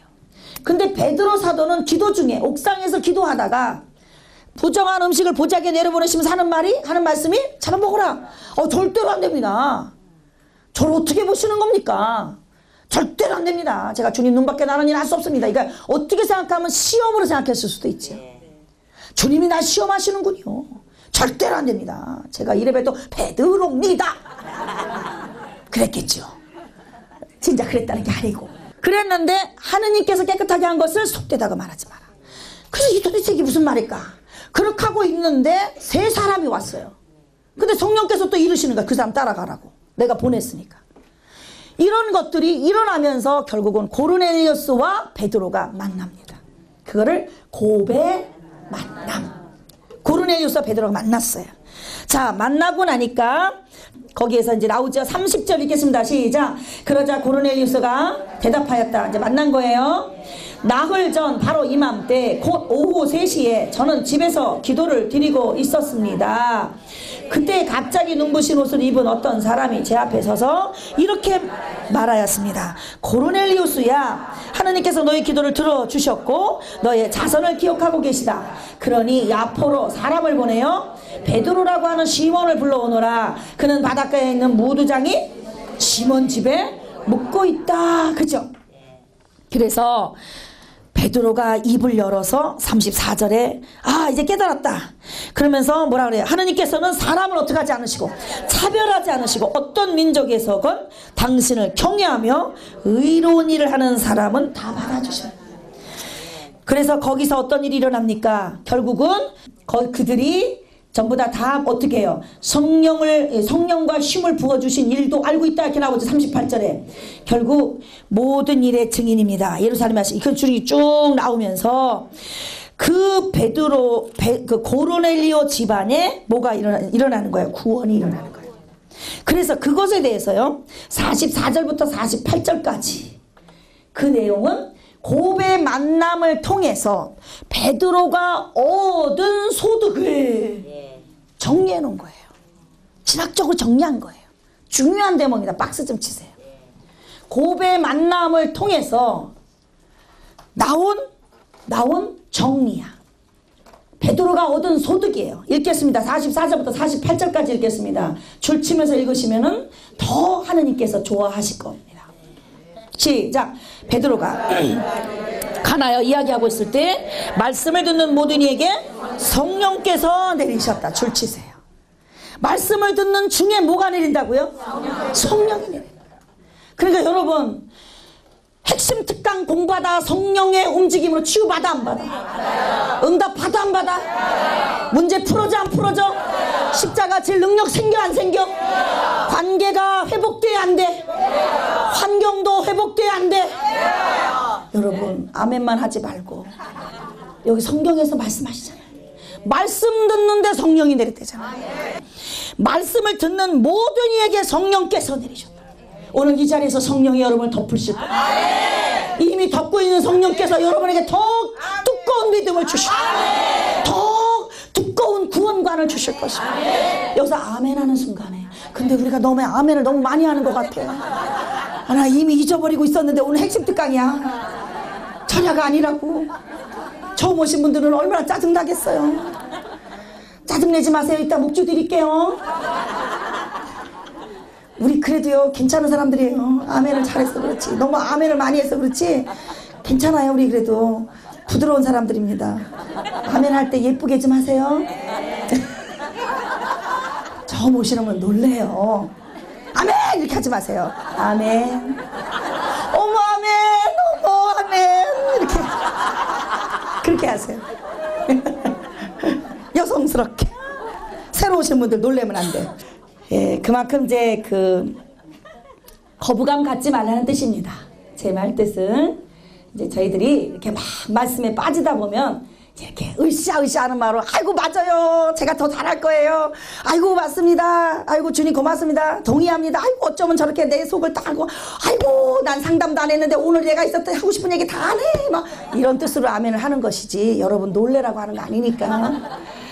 자, 그래서 말씀을 듣는 모든 이에게 성령이 내렸다. 자, 베드로와 함께 왔던 시작. 베드로와 함께 왔던 할례 받으신 자들은 다른 민족들에게도 성령의 선물이 쏟아져 내리는 것을 보고 깜짝 놀란 거예요. 깜짝 놀란 거예요. 놀랄 수밖에 없죠. 왜? 유대인들에게는 이때 당시에 이방인들이 성령을 받는다는 것은 있을 수 없는 일이거든. 가축처럼 생각했어요. 짐승. 같이 밥도 안 먹었잖아요. 같이 밥도 안 먹었고 돈거래도 안 했고 심, 돈거래도 안 했고 심지어는 비즈니스도 같이 안 했어요. 지금도 유대인들 중에서 아주 보수파들은 지금도 그 개념이 있어요. 유대인들이. 지금도 그런 개념이 있어요. 절대 동, 뭐 물건을 사고 파는 건 하려지 몰라도 동력이나 동력자로 삼거나 같이 무슨 일을 하거나 그런 건 안 해요. 지금도 유대인들은 그런 개념이 있어요. 이 다른 민족들이 시작 이 다른 민족들이 신령한 언어로 말하면서 하나님을 찬송하는 것을 들었기 때문이다. 그때에 베드로가 말하였다. 우리처럼 성령을 받은 이 사람들에게 물로 세례를 주는 일을 누가 막을 수 있겠습니까? 그리고 나서 예수 그리스도 이름으로 세례를 받으라고 그들에게 지시하였다. 그들은 베드로에게 며칠 더 머물러 달라고 전하였다. 그러니까 물과 성령으로 이방인이 거듭나는 거야 지금. 엄청난 역사적인 순간입니다. 이걸 지금 누가 체험한 거예요? 베드로가.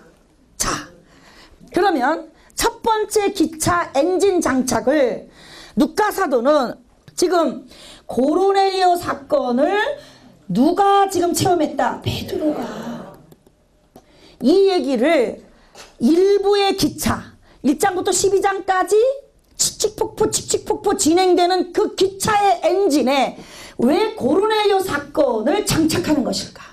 그것이 두 번째 기차의 답이 있어. 두 번째 기차는 자 보세요.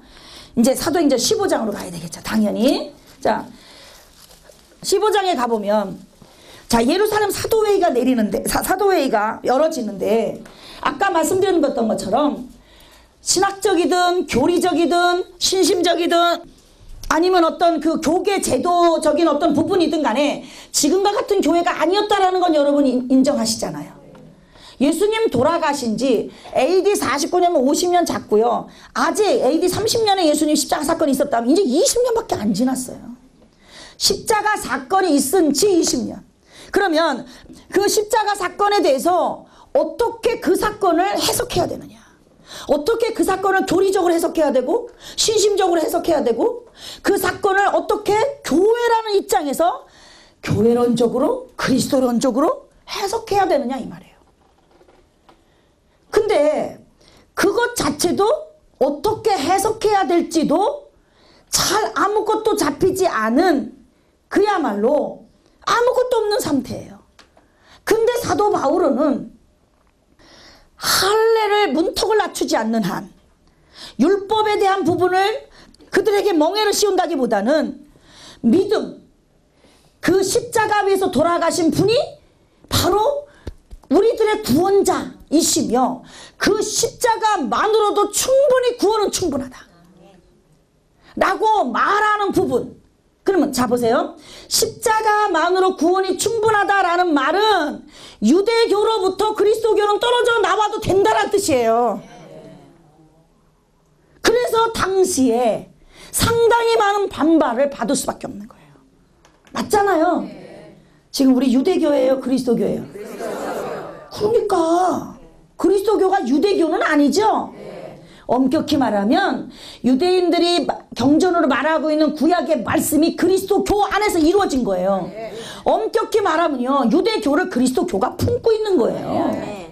언젠간 노마서의 말씀처럼 그들이 원 올리브 나무 가지라면 믿음이 없는 그들을 잘라버리고 야생 올리브 나무 가지인 이방인들을 이민족들을 주님께서 먼저 접붙였다면 여러분 야생 올리브 나무 가지 제가 지금 표현하는 건 구공동 번역의 표현입니다. 야생 올리브 나무 가지를 접붙일 수 있는 하느님이 믿음 없어 잘라져 나간 원 올리브 나무 가지인 유대인들을 다시 붙이는 건 얼마나 더 쉽겠습니까? 그러니까 뭐예요? 이 민족들인 이방인들인 우리들한테 뭐라고 말하는 거예요? 건방 떨지 말라 이 소리예요. 교만하지 말라. 하느님은 그들을 버리지 않는다는 것이에요. 그게 로마서 11장의 말씀이에요. 그런 말씀들을 이제 여러분들이 서간 낄 때 조금 공부를 하게 될 겁니다. 여러분들. 자, 그래서 예루살렘 사도회의가 이제 벌어졌는데 이 사도회의에서 여러분 베드로가 여러분 이거 지난번에 공부했으니까 6절에 보세요. 6절 7절에 보면 베드로가 일어나서 뭐라고 말합니까? 그런 것들에 대해서 거기 자 이제 그 사도회의를 열었는데 5절에 보니까 15장 5절에 보니까 지난주 거랑 제가 이렇게 기억을 되살려 드릴게요. 바리사이파에 속하였다가 믿게 된 사람 몇 사람 나서서 그들에게 할례를 베푸고 또 모세의 율법을 지키라고 명령해야 합니다라고 말하는 거예요. 사도 바오로가 우리가 진정한 복음이 뭐겠습니까? 저 좀 보세요. 진정한 복음이 뭐겠습니까? 진짜 이것이 굿뉴스라면 하는 예수님의 십자가 사건이 정말 우리에게 구원에 대한 굿뉴스라면 할례에 대한 문턱을 낮춰야 합니다. 우리도 멍해처럼 여겨지는 율법에 대해서 율법을 폐지하라는 것이 폐지하러 오신 것이 아니라 율법 자체를 십자가 위에서 사랑으로 완성하신 예수 그리스도의 그 복음을 우리가 받아들이고 율법을 믿음으로 또 아까 말씀드린 할례를 무할례로 그들에게 멍해를 씌워서는 안 됩니다. 그러면 그리스도 교가 번창할 수 없으며 율법을 믿음으로 넘어온다는 의미는 우리는 이제 그리스도 교만의 굿뉴스를 지닌 캐리그마의 복음을 선포하는 교회로서의 아이덴티티를 이제는 확립해야 합니다. 그렇게 말씀하셨을 거예요. 그렇게 말씀하시니까 바리사이파 중에서 있었던 몇 사람이 얘기도 다 듣기 전에 펄떡 일어났다 그랬잖아요. 그럼 충격적으로 충동적으로 일어나는 일어남이라 그랬잖아요. 펄떡 일어나서 하는 말이 닥치시오. 성경에 이렇게 안 나오지만 닥치시오 이보시오. 우리가 당신에 대해서는 익히 들어서 알아. 안티오키아 교회가 좀 잘 된다고 배는 게 없나 보지?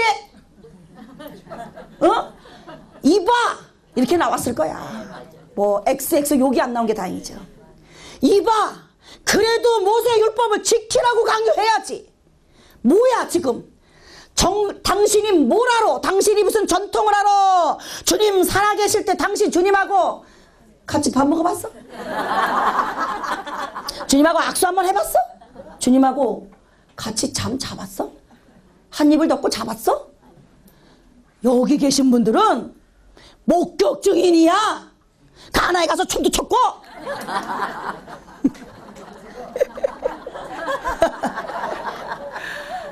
무슨 말인지 알아? 그 얘기를 하는 거예요. 벌떡 일어나서. 근데 이거를 다시 다시 진압하는 정리하고 통합하는 베드로의 일어섬이 있었단 말이에요. 그걸 보세요. 지난주 요거랑 연결시켜서 이걸 했어야 되는데 못했다 이 말이에요. 4, 6절 보세요. 사도들과 원로들이 이 문제를 검토하려고 모였다. 오랜 논란, 논란 끝에 베드로가 일어나. 베드로가 일어나. 베드로가 이때 일어설 수 있는 그 힘, 그 성령의 힘은 베드로를 미리 일부의 고르넬리오의 고배 만남에서 베드로에게 확신을 준 사건이 있었다는 거죠. 무시 못하는 겁니다. 베드로가 왜 일어났냐? 일부 첫 번째 기차에 있었던 고르넬리오의 만남이 생각났어. 아, 주님이 왜 그때 나에게 베드로야 잡아먹어라. 절대로 안 됩니다. 절대로 저는 베드로입니다. 절대로 안 돼. 그때 하느님께서 깨끗하게 한 걸 네가 속되다고 말하지 마라. 그때 갔을 때 이런 엄청난 감격의 순간이 있었지. 그들에게 손을 얹자 막 성령이 내렸고 그들이 막 심령 언어를 했고 회개를 했고 그러면서 물과 성령으로 거듭나서 내 스스로 내가 말했지. 이들에게 물로 세례를 주는 것에 대해서 어떤 하자가 있겠습니까? 다 세례 받읍시다. 내가 그러고 그들에게 세례를 줬잖아. 그때 생각이 났어요. 벌떡 일어난 거죠. 성령의 일어남입니다. 이 성령의 일어남이 바로 일대 초대 교황님이신 베드로의 일어남이라면 이 일어남은 지금 이 시대 교회의 일어남이 돼야지. 교회의 일어남이 돼야 됩니다. 그 거기 뭐라 그래요? 형제 여러분 시작. 형제 여러분 다른 민족들도 내 입을 통하여 복음의 말씀을 들어 믿게 하시려고 하느님께서 일찍이 여러분 가운데 나를 뽑으신 사실을 여러분은 알고 있습니다. 사람의 마음을 아시는 하느님께서는 우리에게 하신 것처럼 그들에게도 성령을 주시어 그들을 인정해 주셨습니다. 그리고 그들의 믿음으로 그들의 마음을 총화하시어 우리와 그들 사이에 아무런 차별도 두지 않으셨습니다. 그런데 지금 여러분은 왜 조상들도 우리도 다 감당할 수 없었던 멍해를 형제들의 목에 씌워 하느님은 시험하는 것입니까? 줄치세요 11절 우리는 그들과 마찬가지로 우리도 주 예수님의 은총으로 구원을 받는다고 믿습니다. 그러니까 뭐예요? 그 얘기를 들었던 야고보가 13절에 그들이 말을 마치자 야고보가 이렇게 말하였다 그러면서 아모스서가 등장을 아모스를 인용하면서 이제 야고보가 이거를 어떻게 해요? 구약의 말씀을 가지고 예언서의 말씀을 가지고 정리를 끝내버립니다. 그러면서 19절에 그러므로 내 판단으로는 그죠? 그 아모스서 17장에 보세요. 내 이름으로 불리는 다른 모든 민족들도 주님을 찾게 되리라. 그러니까 이미 구약의 예언서에 아모스 예언자를 통해서 이 민족들도 구원이 있다라는 것에 대해서 아모스가 약 8세기라면 그때 이미 예수님 오시기 800년 전에 이미 예로보암 2세라고 하는 분열 왕국의 왕이 있었을 때 그렇게 정치적으로 종교적으로 썩고 부패했을 때 하느님께서 예언자를 통해서 입을 열어 메시지를 주셨을 때 그때 아모스 예언자를 통해서 800년 전에 이미 말하지 않았느냐? 다른 이민족들에게도 구원이 있다고 말하지 않았느냐? 하면서 야고보 사도는 그들에게 꼼짝 못하도록 구약의 말씀을 들어다가 바이블 세일을 바이블 세일로 풀어내는 거야 지금. 그러니까 잠잠해져 버린 거예요. 베드로의 고배 만남에 대한 그 체험과 경험이 베드로를 일어나게 했으며 베드로의 일어남이 성령의 일어남이 야고보의 말씀을 말씀으로 풀어내는 바로 그야말로 신학적이고 그야말로 성경적이고 그들에게 그들이 말하는 토라적인 토라적인 그 결정 앞에 사도 회의가 통과되는 거예요. 그래서 결정한 것이 19절에 그러므로 시작 그러므로 내 판단으로는 다른 민족들 가운데서 하느님께 돌아선 이들에게 어려움을 주지 말고 다만 그들에게 편지를 보내요 바쳐 더러워진 음식과 불륜과 목졸라 죽인 짐승의 고기와 피를 멀리해야 한다고 멀리해야 합니다 그죠? 그래서 결국 19절 20절에 나오는 그 내용처럼 사도회의는 그 613가지의 엄청난 율법이 그 정리를 한다면 불륜과 우상 숭배 근절 이 두 가지만 지킨다면 그리스도인으로 세례를 인정하겠다. 놀라운 확정입니다. 이 닥트린이 지금 교회에 정착을 하게 되는 거예요. 아시겠죠? 그래서 여러분 결국 제가 두 개의 기차를 여러분 이해하시겠습니까? 이 기차가 이 앞에 있는 기차는 전반부에 있는 기차는 고르넬의 사건을 베드로가 체험했어. 후반부에 이것이 이쪽으로 끌고 오니까 베드로가 이- 베드로의 일어남이 고배 만남에 대한 확신 때문에 베드로가 그 자리에서 박차고 일어나는 거예요. 만약 이 경험이 없었다면 베드로는 일어설 수 없습니다. 여러분 고개 드세요.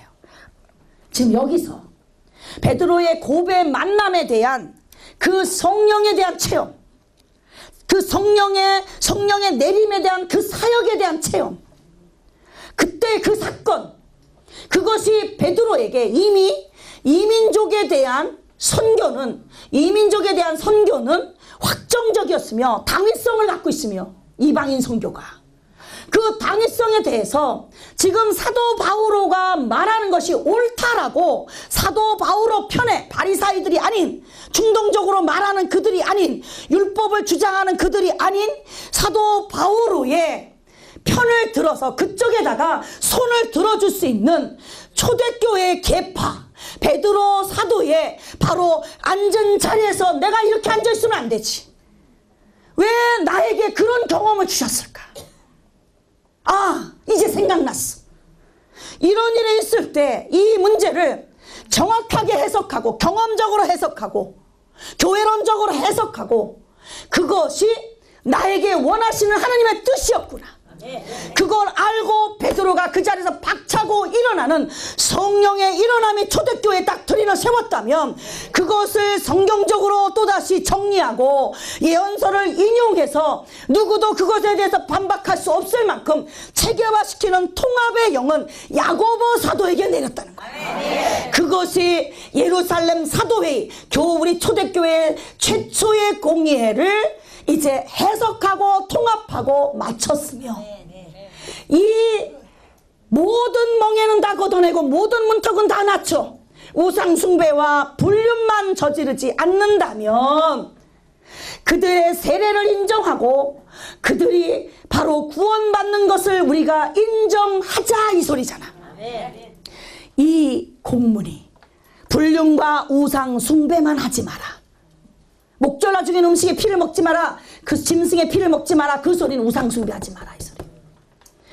이것이 통과되자 사도 바오로는 2차 전도 여행과 3차 전도 여행이 유럽으로 뻗어나간 거예요. 그럼 여러분 베드로의 일어나, 일어남을 통해서 미리 고배 만남을 준비하신 하느님 그 하느님이 그 주님이 우리에게도 그 방법을 쓰신다는 거지.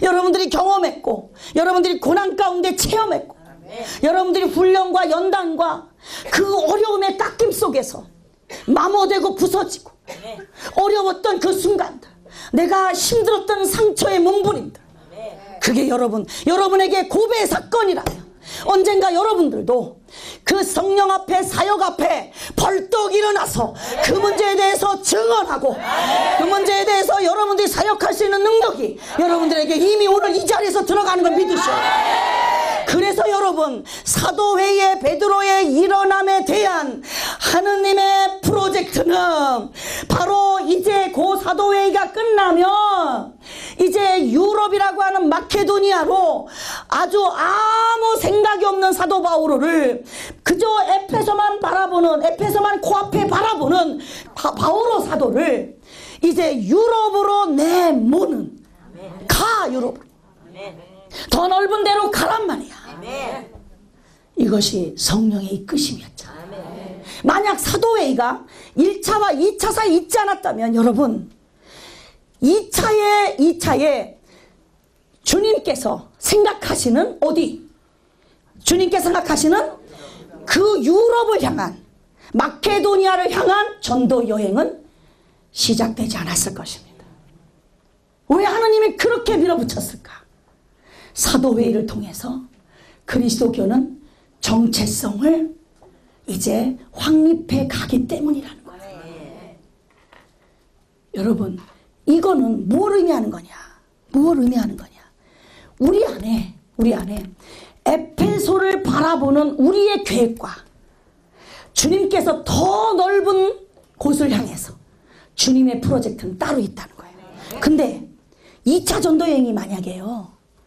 사도회의가 통과되지 않은 상태에서 만약에 간다고 생각해봐.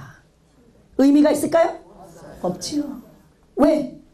어차피 세워도 무너질 건데요. 여러분 놀랍지 않아요?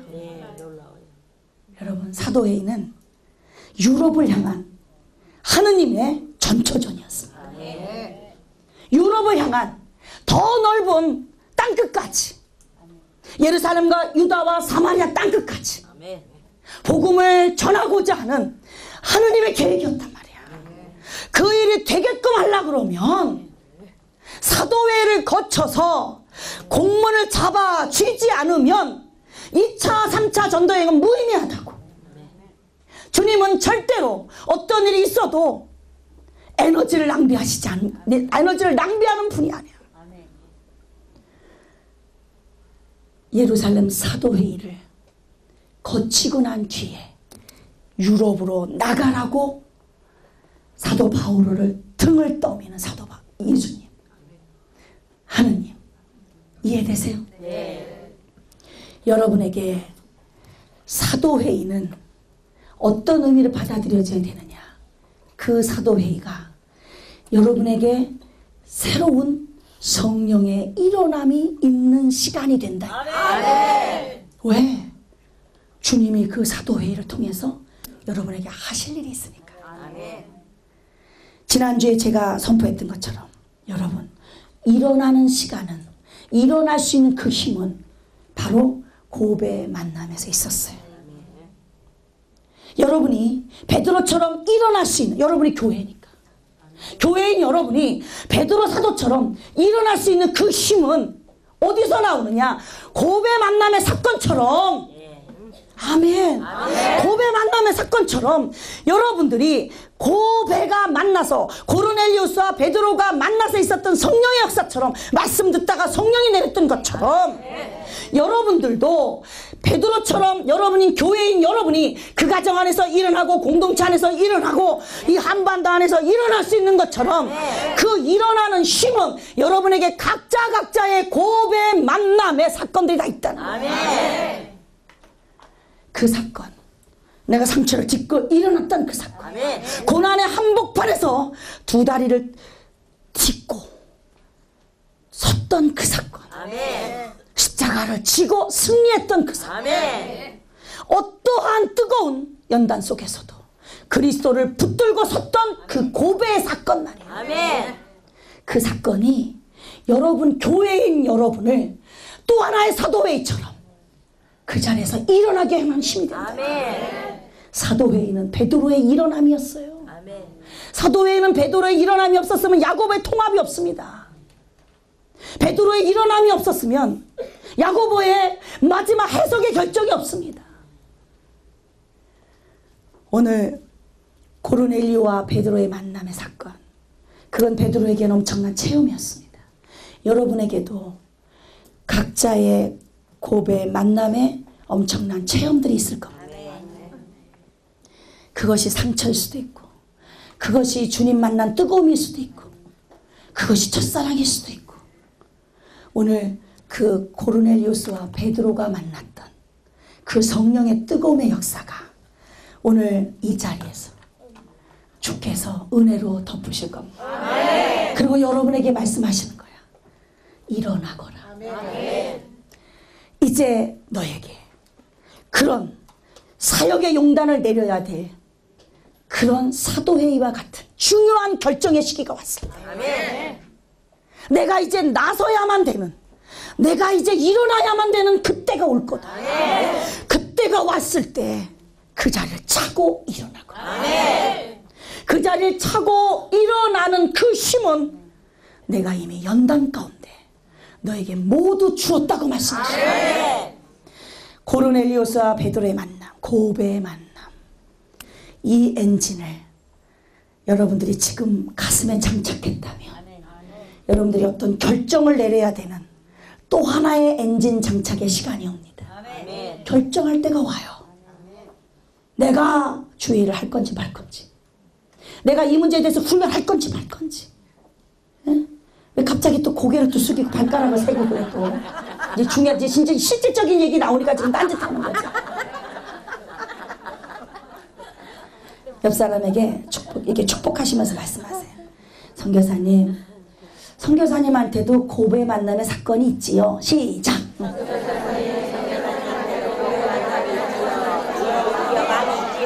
그럼 그 손을 놓지 마요. 놓지 마. 자, 고배 만남의 사건이 있지요? 있다 그러죠? 예. 그러면 이제 우리가 양손을 탁 잡고 이제 저를 따라하세요.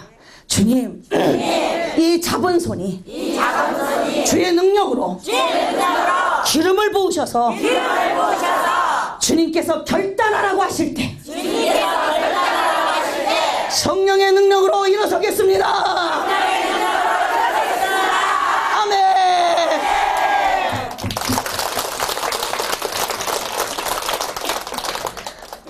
여러분 사도웨이가 딱딱한 내용이지만 여러분들이 이렇게 고르넬료 사건하고 엔진 장착을 연결하시고요. 그 다음에 야고보 사도가 마지막 해석을 했던 그 부분은 이제 우리 교회의 교리로 자리를 잡게 됩니다. 그래서 생각해 보면요. 만약에 이때 이거 통과되지 않았다 우리 다 할례 받아야 돼. 맞잖아요? 우리 다 어른들이 다 나이 많아도 할아버지 할머니들도 다 어떻게 해야 돼요? 할례 받아야 돼. 물론 이제 여자는 할례 받, 받진 않지만 그 전에 어떤 신부님 그 얘기 하셨어요. 그래서 그럼 여자는 할례를 안 받잖아요. 그랬더니 하시는 말씀이 여자는 원래 그렇게 해서 안 받아도 된다고. 어, 다, 대답이 궁색하셨는지 하여튼 그런 표현을 좀 하셨어요. 그래서 저희가 많이 웃었는데 결국 이 예루살렘 사도회의는 2차, 3차 이제 유럽으로 뻗어나가면서 그의 로마의 국교화까지 뻗어나가게 되는 큰 이제 이 그리스도 교회, 그리스도 교회 번영과 확장을 이루게 되는 아주 중요한 포인트가 되는 거예요. 예루살렘 사도회의가. 근데 그 사도회의는 베드로의 일어남이 중요하다니까. 베드로가 일어나지 않았으면 야고보도 정리 안 해. 못하지. 따라하세요. 베드로는 일어나고. 야고보는 정리하고. 예, 그게 사도회의예요. 그 사도회의를 두 번째 엔진으로 장착하시면 여러분 2차, 3차 전도 여행이 어, 여러분들에게 쉽게 와서 더 다가올 것입니다.